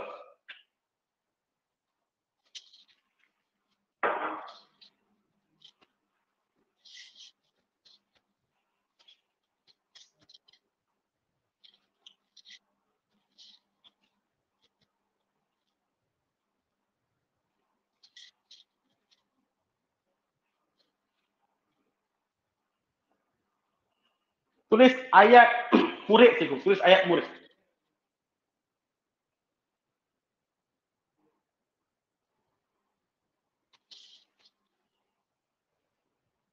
Ramai guru dari sekolah menengah. Ramai guru dari sekolah menengah tahun lepas kan, tahun lepas SPM. Keputusan SPM itu kita tengok dalam grup. Memang ramai guru bahasa Melayu sekolah menengah menggunakan teknik tipograf kecaha dan mereka uh, membuktikan bahawa teknik ini memang membantu meningkatkan prestasi bahasa Melayu sekolah mereka. Okey, memang membantu. Memang sangat efektif teknik-teknik ini. Dan yang penting adalah kita perlu mengamalkan, mengimplementasikan dengan betul. Okey? Perlu mengimplementasikan. Macam mana nak dapatkan apa tu bahan-bahan PDPR atau bahan-bahan pengajaran sokongan? Uh, cikgu-cikgu boleh lihat dalam checkbox sektor pembelajaran 2021 EDD. Uh, ada sites Google uh, sites.google.com. Uh, itu adalah uh, link untuk dapatkan semua video uh, bahan-bahan PDPR, template-template, uh, semua kita boleh dapat dari uh, site itu.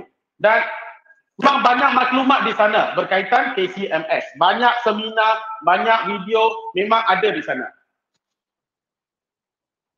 Okey, teknik ini, teknik tipograf kecaha ini, kita boleh gunakan untuk karangan jenis pendapat, karangan jenis fakta dan karangan jenis kita boleh guna untuk cerita nah cerita lain. Cerita kita boleh gunakan yang apa tu teknik lain. Yang ini dia lebih kepada karangan yang formal. Okey? Karangan yang formal. Karangan jenis pengalaman pengalaman seperti program larian. Ha, program larian ini adalah satu apa tu uh, kalau kebaikan program larian ha, boleh guna Okey, cara-cara meningkatkan program larian ah boleh guna. Tapi kalau keperihalan, ah ini kurang sesuai. Kalau kempen, kebaikan kempen kitar semula. Cara-cara memperkasakan kempen kitar semula, boleh kita gunakan ini. Tapi nak menceritakan apa tu uh, program ataupun sesuatu kempen yang berlangsung tu, ah teknik ini kurang sesuai. Okey, kita ada teknik lain untuk karangan karangan seperti itu. Baik. So setakat ini ada tiga tiga respon. Okay, kita ambil tiga respon tu dulu.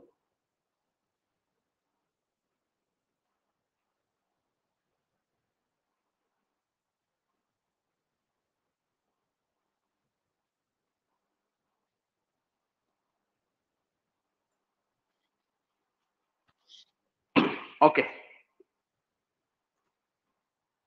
Okey, kita lihat. Kita lihat. Okey. Uh, tajuk, faedah menyertai aktiviti sukan. Betul. Betul. Betul. Isi pertama. Isi pertama, saya minta isi pertama ini ada soalan. Okey, apakah faedah bersukan di kalangan murid? Ini bukan isi pertama. Isi pertama badan kita sihat, betul. Menyihatkan tubuh badan, betul. Kita gabungkan dua-dua ni. Kita gabungkan. Faedah menyertai aktiviti bersukan yang pertama ialah Yang pertama ialah badan kita sihat. Betul ke cikgu ayat ni? Konsep betul saya faham. Konsep dia betul. Tapi ayat dia faedah menyertai aktiviti bersukan yang pertama ialah ialah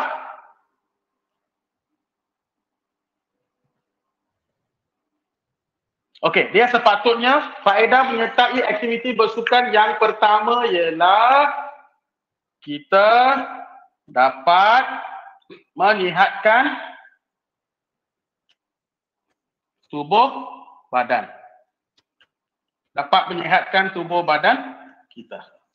Ha. Okey, baik. Kebaikan aktiviti bersukan yang pertama ialah kalau ialah kalau sini dapat, depan mesti adalah. Adalah dapat menyihatkan tubuh badan kita.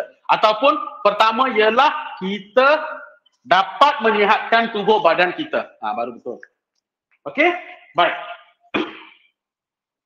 Ayat nombor dua. Okey. Peluk dan toksi dalam badan dapat dikeluarkan dengan melakukan pelbagai aktiviti bersukan. Mengapakah kita perlu bersukan? Mengapakah kita perlu bersukan? Toksik dan uh, peluk dan toksik dalam badan kita dapat dikeluarkan dengan melakukan pelbagai aktiviti bersukan. Okey. Apakah contoh aktiviti yang boleh kita buat untuk menjaga kesihatan? Contoh aktiviti. Kita boleh berjoging dan berbasikal untuk menjaga untuk menjadikan badan kita sihat. Betul. Okey? Semasa bersukan, badan kita akan berpeluk. Uh, mengapakah kita perlu bersukan? Semasa bersukan, badan kita akan berpeluh. Ayat nombor tiga. Ayat nombor tiga kenapa ada nama? Hmm, ayat nombor tiga dekat sini.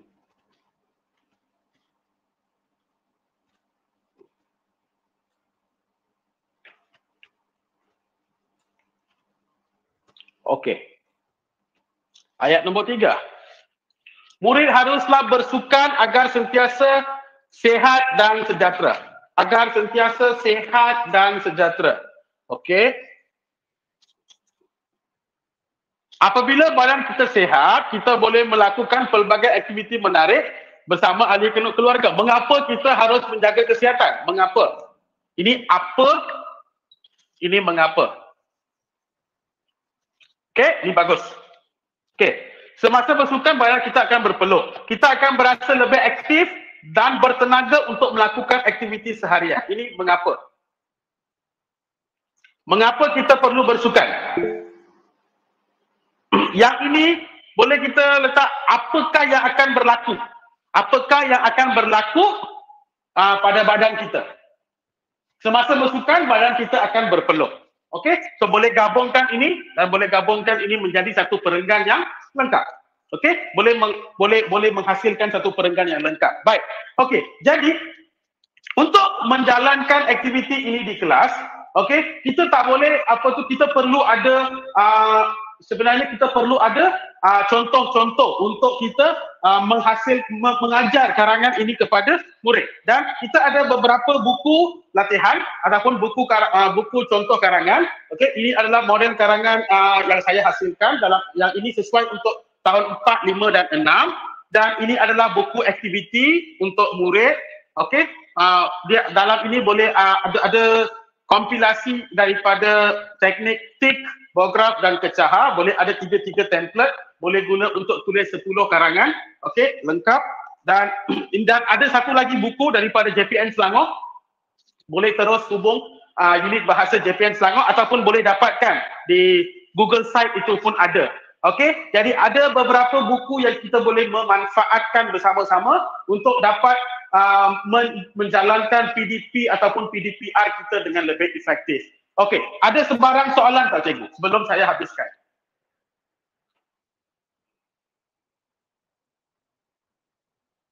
Ada soalan tak cikgu sebelum saya sebelum saya habiskan? Jadi teknik tik, bograf dan kecaha ini saya secara peribadi mengesorkan tiga-tiga teknik ini memang berkesan dan perlulah okay, diajar kepada murid-murid uh, especially untuk murid-murid sekolah tamil di seluruh negeri Selangor supaya prestasi kita dapat ditingkatkan dan kita dapat mengelakkan sebarang murid jatuh dalam lingkungan TP1 dan TP2. Kita nak zero TP1 dan TP2. Okey, jadi teknik ini sedikit sebanyak akan membantu guru-guru bahasa Melayu untuk uh, fokus kita, untuk mencapai matlamat kita zero TP1, zero TP2. Okey, sifat TP1 dan TP2.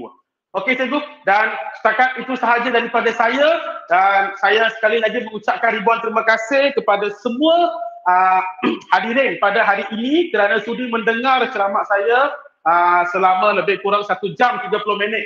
Okey?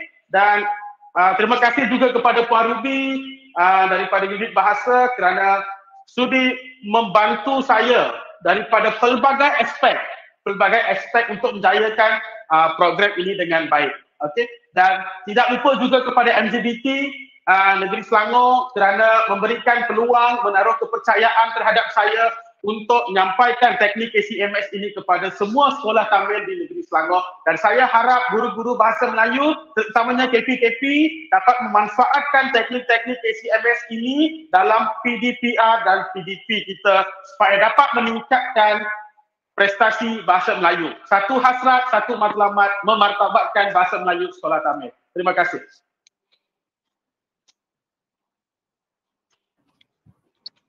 Uh, Cikgu Arasu, Ya. di YouTube ada yang tanya apakah teknik yang sesuai untuk karangan pengalaman. Uh, yang itu sekejap ya, saya cuba tunjuk juga. Saya cara rasa juga rasa boleh bentang yang ini. Boleh. Okey.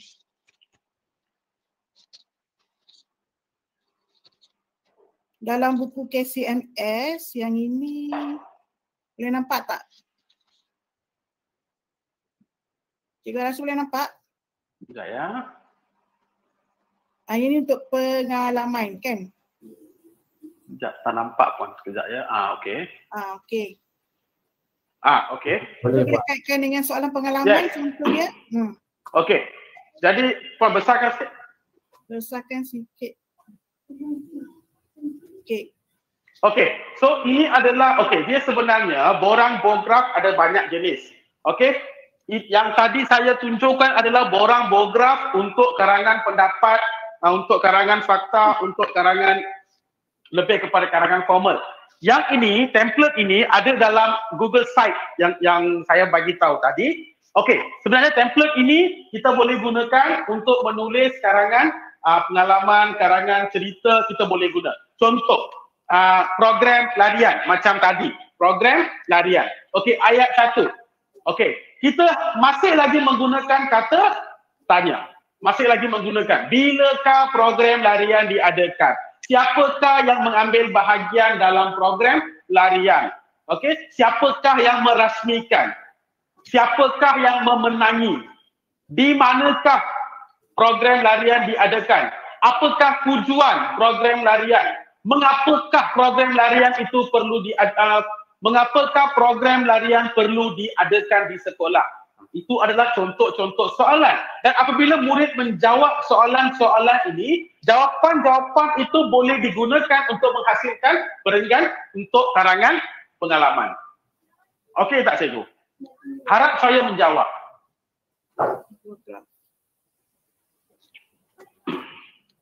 Uh, ini ya dia punya Hmm. borang-borang yang boleh didapat dimuat turun daripada Google Site. Nah, semua borang ini ada dalam Google Site. Ya. Ini. So maksudnya cikgu boleh uh, boleh nampak tak? Cikgu boleh perbanyakkan untuk bagi contoh uh, latihan kepada murid yang ini. Hmm. Jelas eh?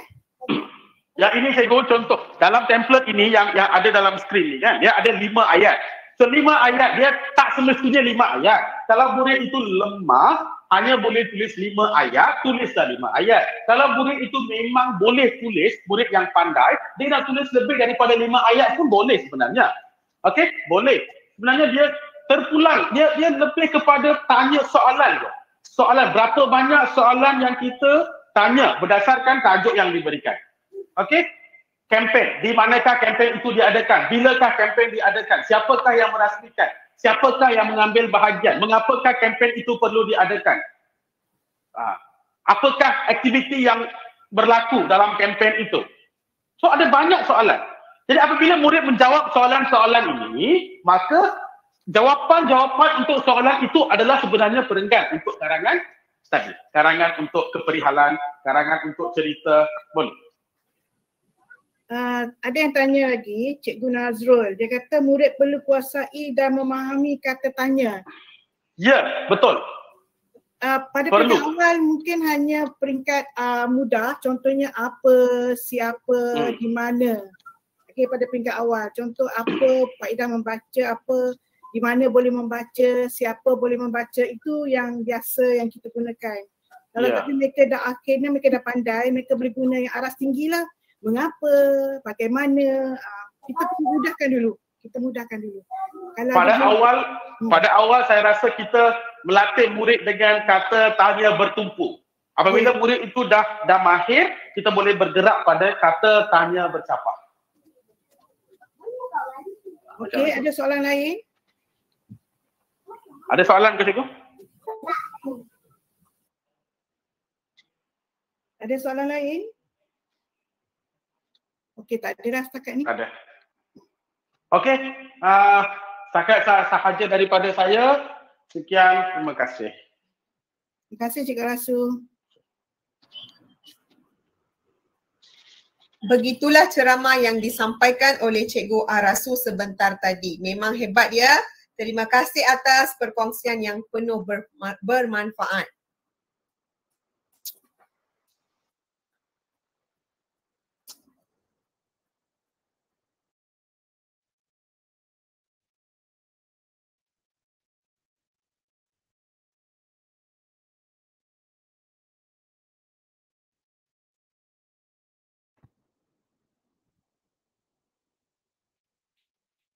Sekejap ya, sekejap ya.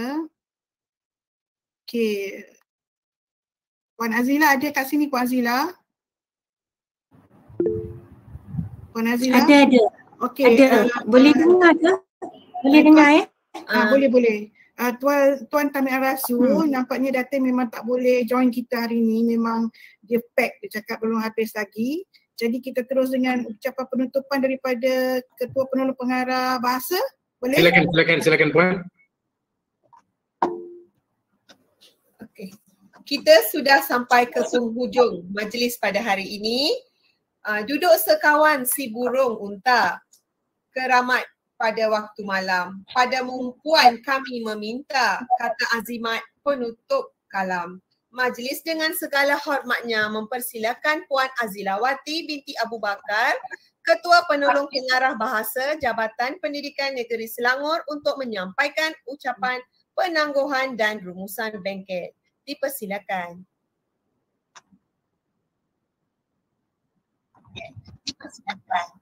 Okey, baik. Uh, terima kasih ya kepada pengusi maj- majlis uh, berpantun ya daripada pembukaan dan juga penutupnya ya. Bagus ya.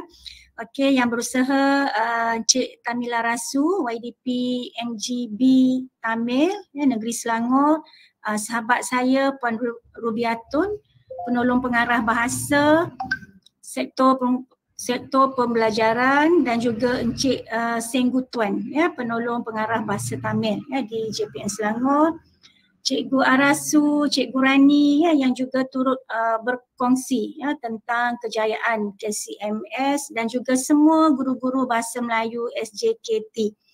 Okey, tahniah ya kepada dua insan hebat ni, Cikgu Arasu, Cikgu Rani ya kalau kita lihat ya kejayaan murid Cikgu Rani ya uh, perkongsian uh, beliau dengan kita tadi dan juga kita lihat kita dapat tengok pelbagai keedah yang Cikgu Rani laksanakan okay, uh, bagi membimbing murid-murid uh, beliau yang pada asalnya kita lihat uh, tidak begitu mahir eh, dalam kemahiran menulis. Uh, dan selepas itu kita lihat pula uh, macam mana Cikgu Arasu ni bersemangat eh Cikgu Arasu saya rasa Cik-Cikgu ni walaupun dia diam saya rasa dia tak tidur kot peserta ni. Eh, saya dengar pun tak boleh nak tidur tengok cikgu cikgu Arasu ni mengajar. Bagus ya. Cara cikgu Arasu mengajar ni dia memang uh, apa yang kalau kita sebut ni dia uh, lively tau. Dia mem- memang betul-betul dekat. Kalau kata kita jadi murid, uh, memang betul-betul faham ya cara Cikgu Arasu ni mengajar. Tengok contoh-contoh yang Cikgu Arasu bagi tu, mudah kita faham. Ha, dia pun ada cakap, oh mudah ya, senang gila kan. Ha, tapi gila tu tak bolehlah sebut ya. Ha, jadi kalau kita lihat ya, keedah yang Cikgu Arasu kongsikan itulah sebenarnya boleh kita lihat dalam konsep sekarang ini PDPR. Okay, untuk PDPR kemahiran menulis yang cikgu rasakan sukarnya nak mengajar secara dalam talian PDPR ini untuk kemahiran menulis. Ha, susah nak ajar. Kalau bersemuka tak apa. Itu alasan yang biasa cikgu kata susah nak mengajar kemahiran menulis secara PD, PDPR. Ha, tapi cikgu Arasu dah buktikan mudah sahaja, senang sahaja. Okay, dengan contoh-contoh yang diberikan itu memang kita sebagai cikgu boleh gunakan. Dan kalau kita lihat eh uh, latihan-latihan bila cikgu Arasu buat uh, di GF itu. Okay, latihan-latihan yang kita macam itulah kalau kita nak mengajar pun. Eh. Uh, latihan-latihan itu yang kita buat secara interaktif itu cikgu boleh lihat terus. Cikgu boleh buat terus pentaksiran PBD kepada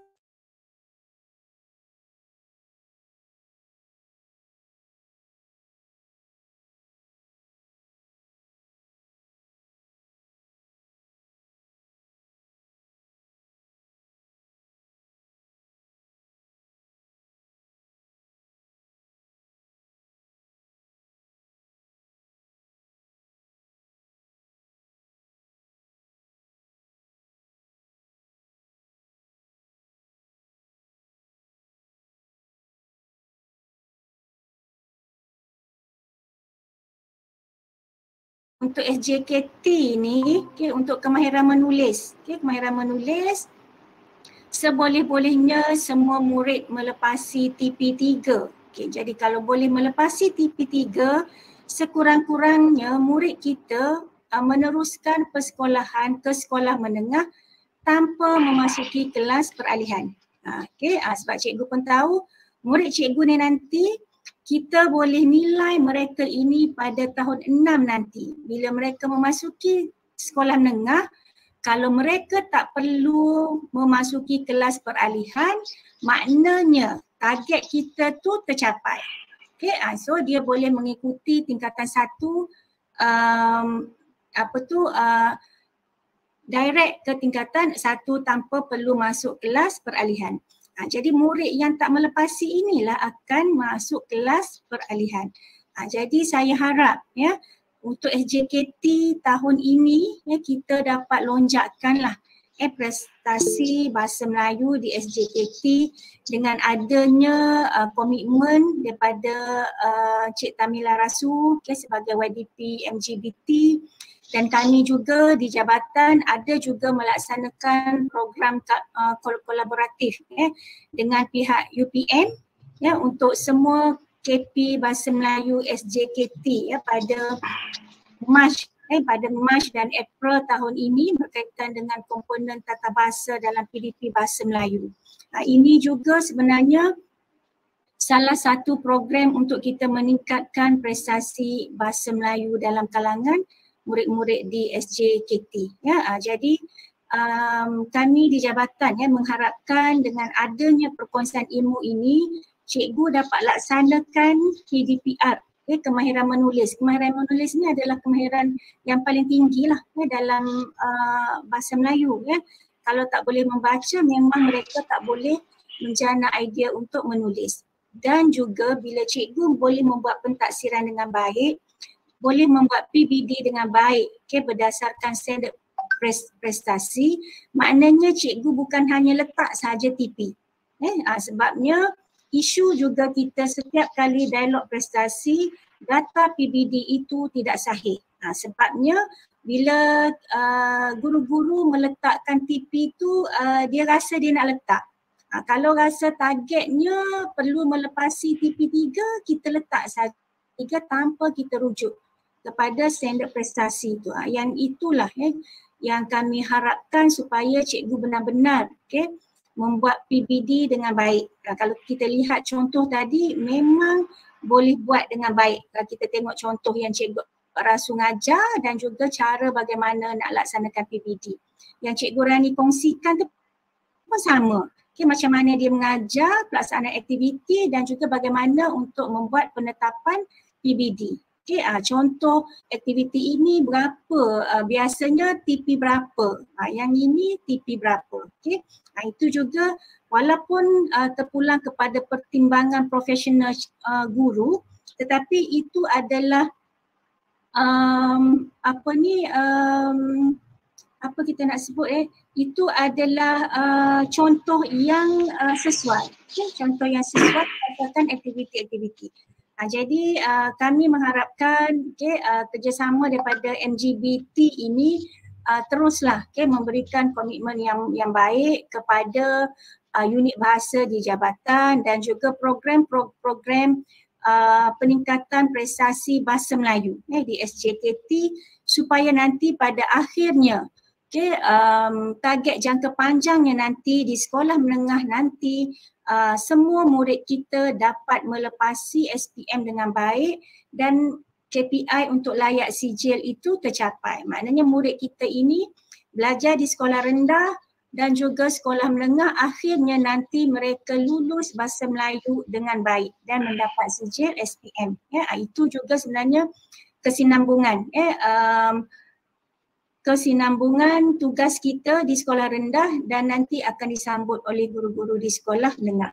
Jadi uh, harapan kami di jabatan semoga berlaku peningkatan ya dalam penguasaan kemahiran PDP Bahasa Melayu dalam kalangan murid SJKT. Tahniah, okay, terima kasih kepada MGB atas inisiatif mengajukan program ini. Terima kasih eh, Cikgu Arasu sangat uh, hebat ya walaupun asalnya beliau bukan merupakan JU untuk KCMS tetapi beliau boleh inovasikan okay, keadaan-keadaan yang ada dalam KCMS itu dipermudahkan ya, supaya cikgu uh, lebih uh, faham dan uh, mudah untuk cikgu hadam ya. dan juga terima kasih kepada rakan-rakan guru BM SJKT uh, yang tidak berbelah bahagi dan saya haraplah ya apa yang telah pun dikongsikan oleh Cikgu Arasu itu cikgu benar-benar manfaatkan nanti dalam uh, sama ada PDP ataupun masih lagi cikgu melaksanakan PDPR. Okay, uh, tanya semua, tanya sekali lagi daripada kami di uh, unit bahasa JPN Selangor. Okay, sekian, terima kasih. Terima kasih atas ucapan sebentar tadi pohon berangan tempat bertemu. Girangnya rasa si anak dara. Baliklah tuan membawa ilmu. Binalah bangsa, bangunkan negara. Satu hasrat, satu tekad memartabatkan bahasa Melayu sekolah Tamil. Sekian, terima kasih.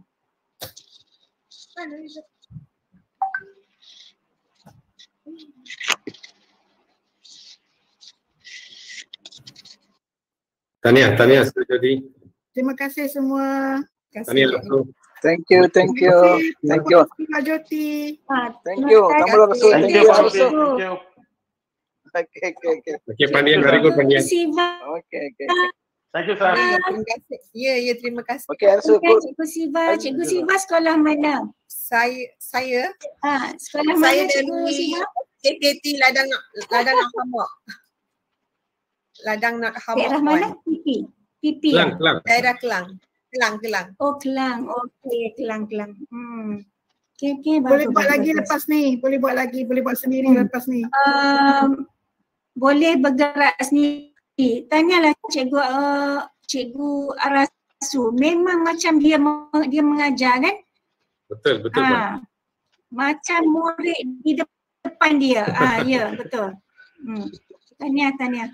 Itu kehebatan kehebatan kasih. Ya, betul. Thank you, sir. Thank you Arsu. Tania, Tania Arsu. Tania Puan Sio Jodi ber, pandai berpantun eh. Terima kasih. Masih pandai kan cikgu bahasa Melayu?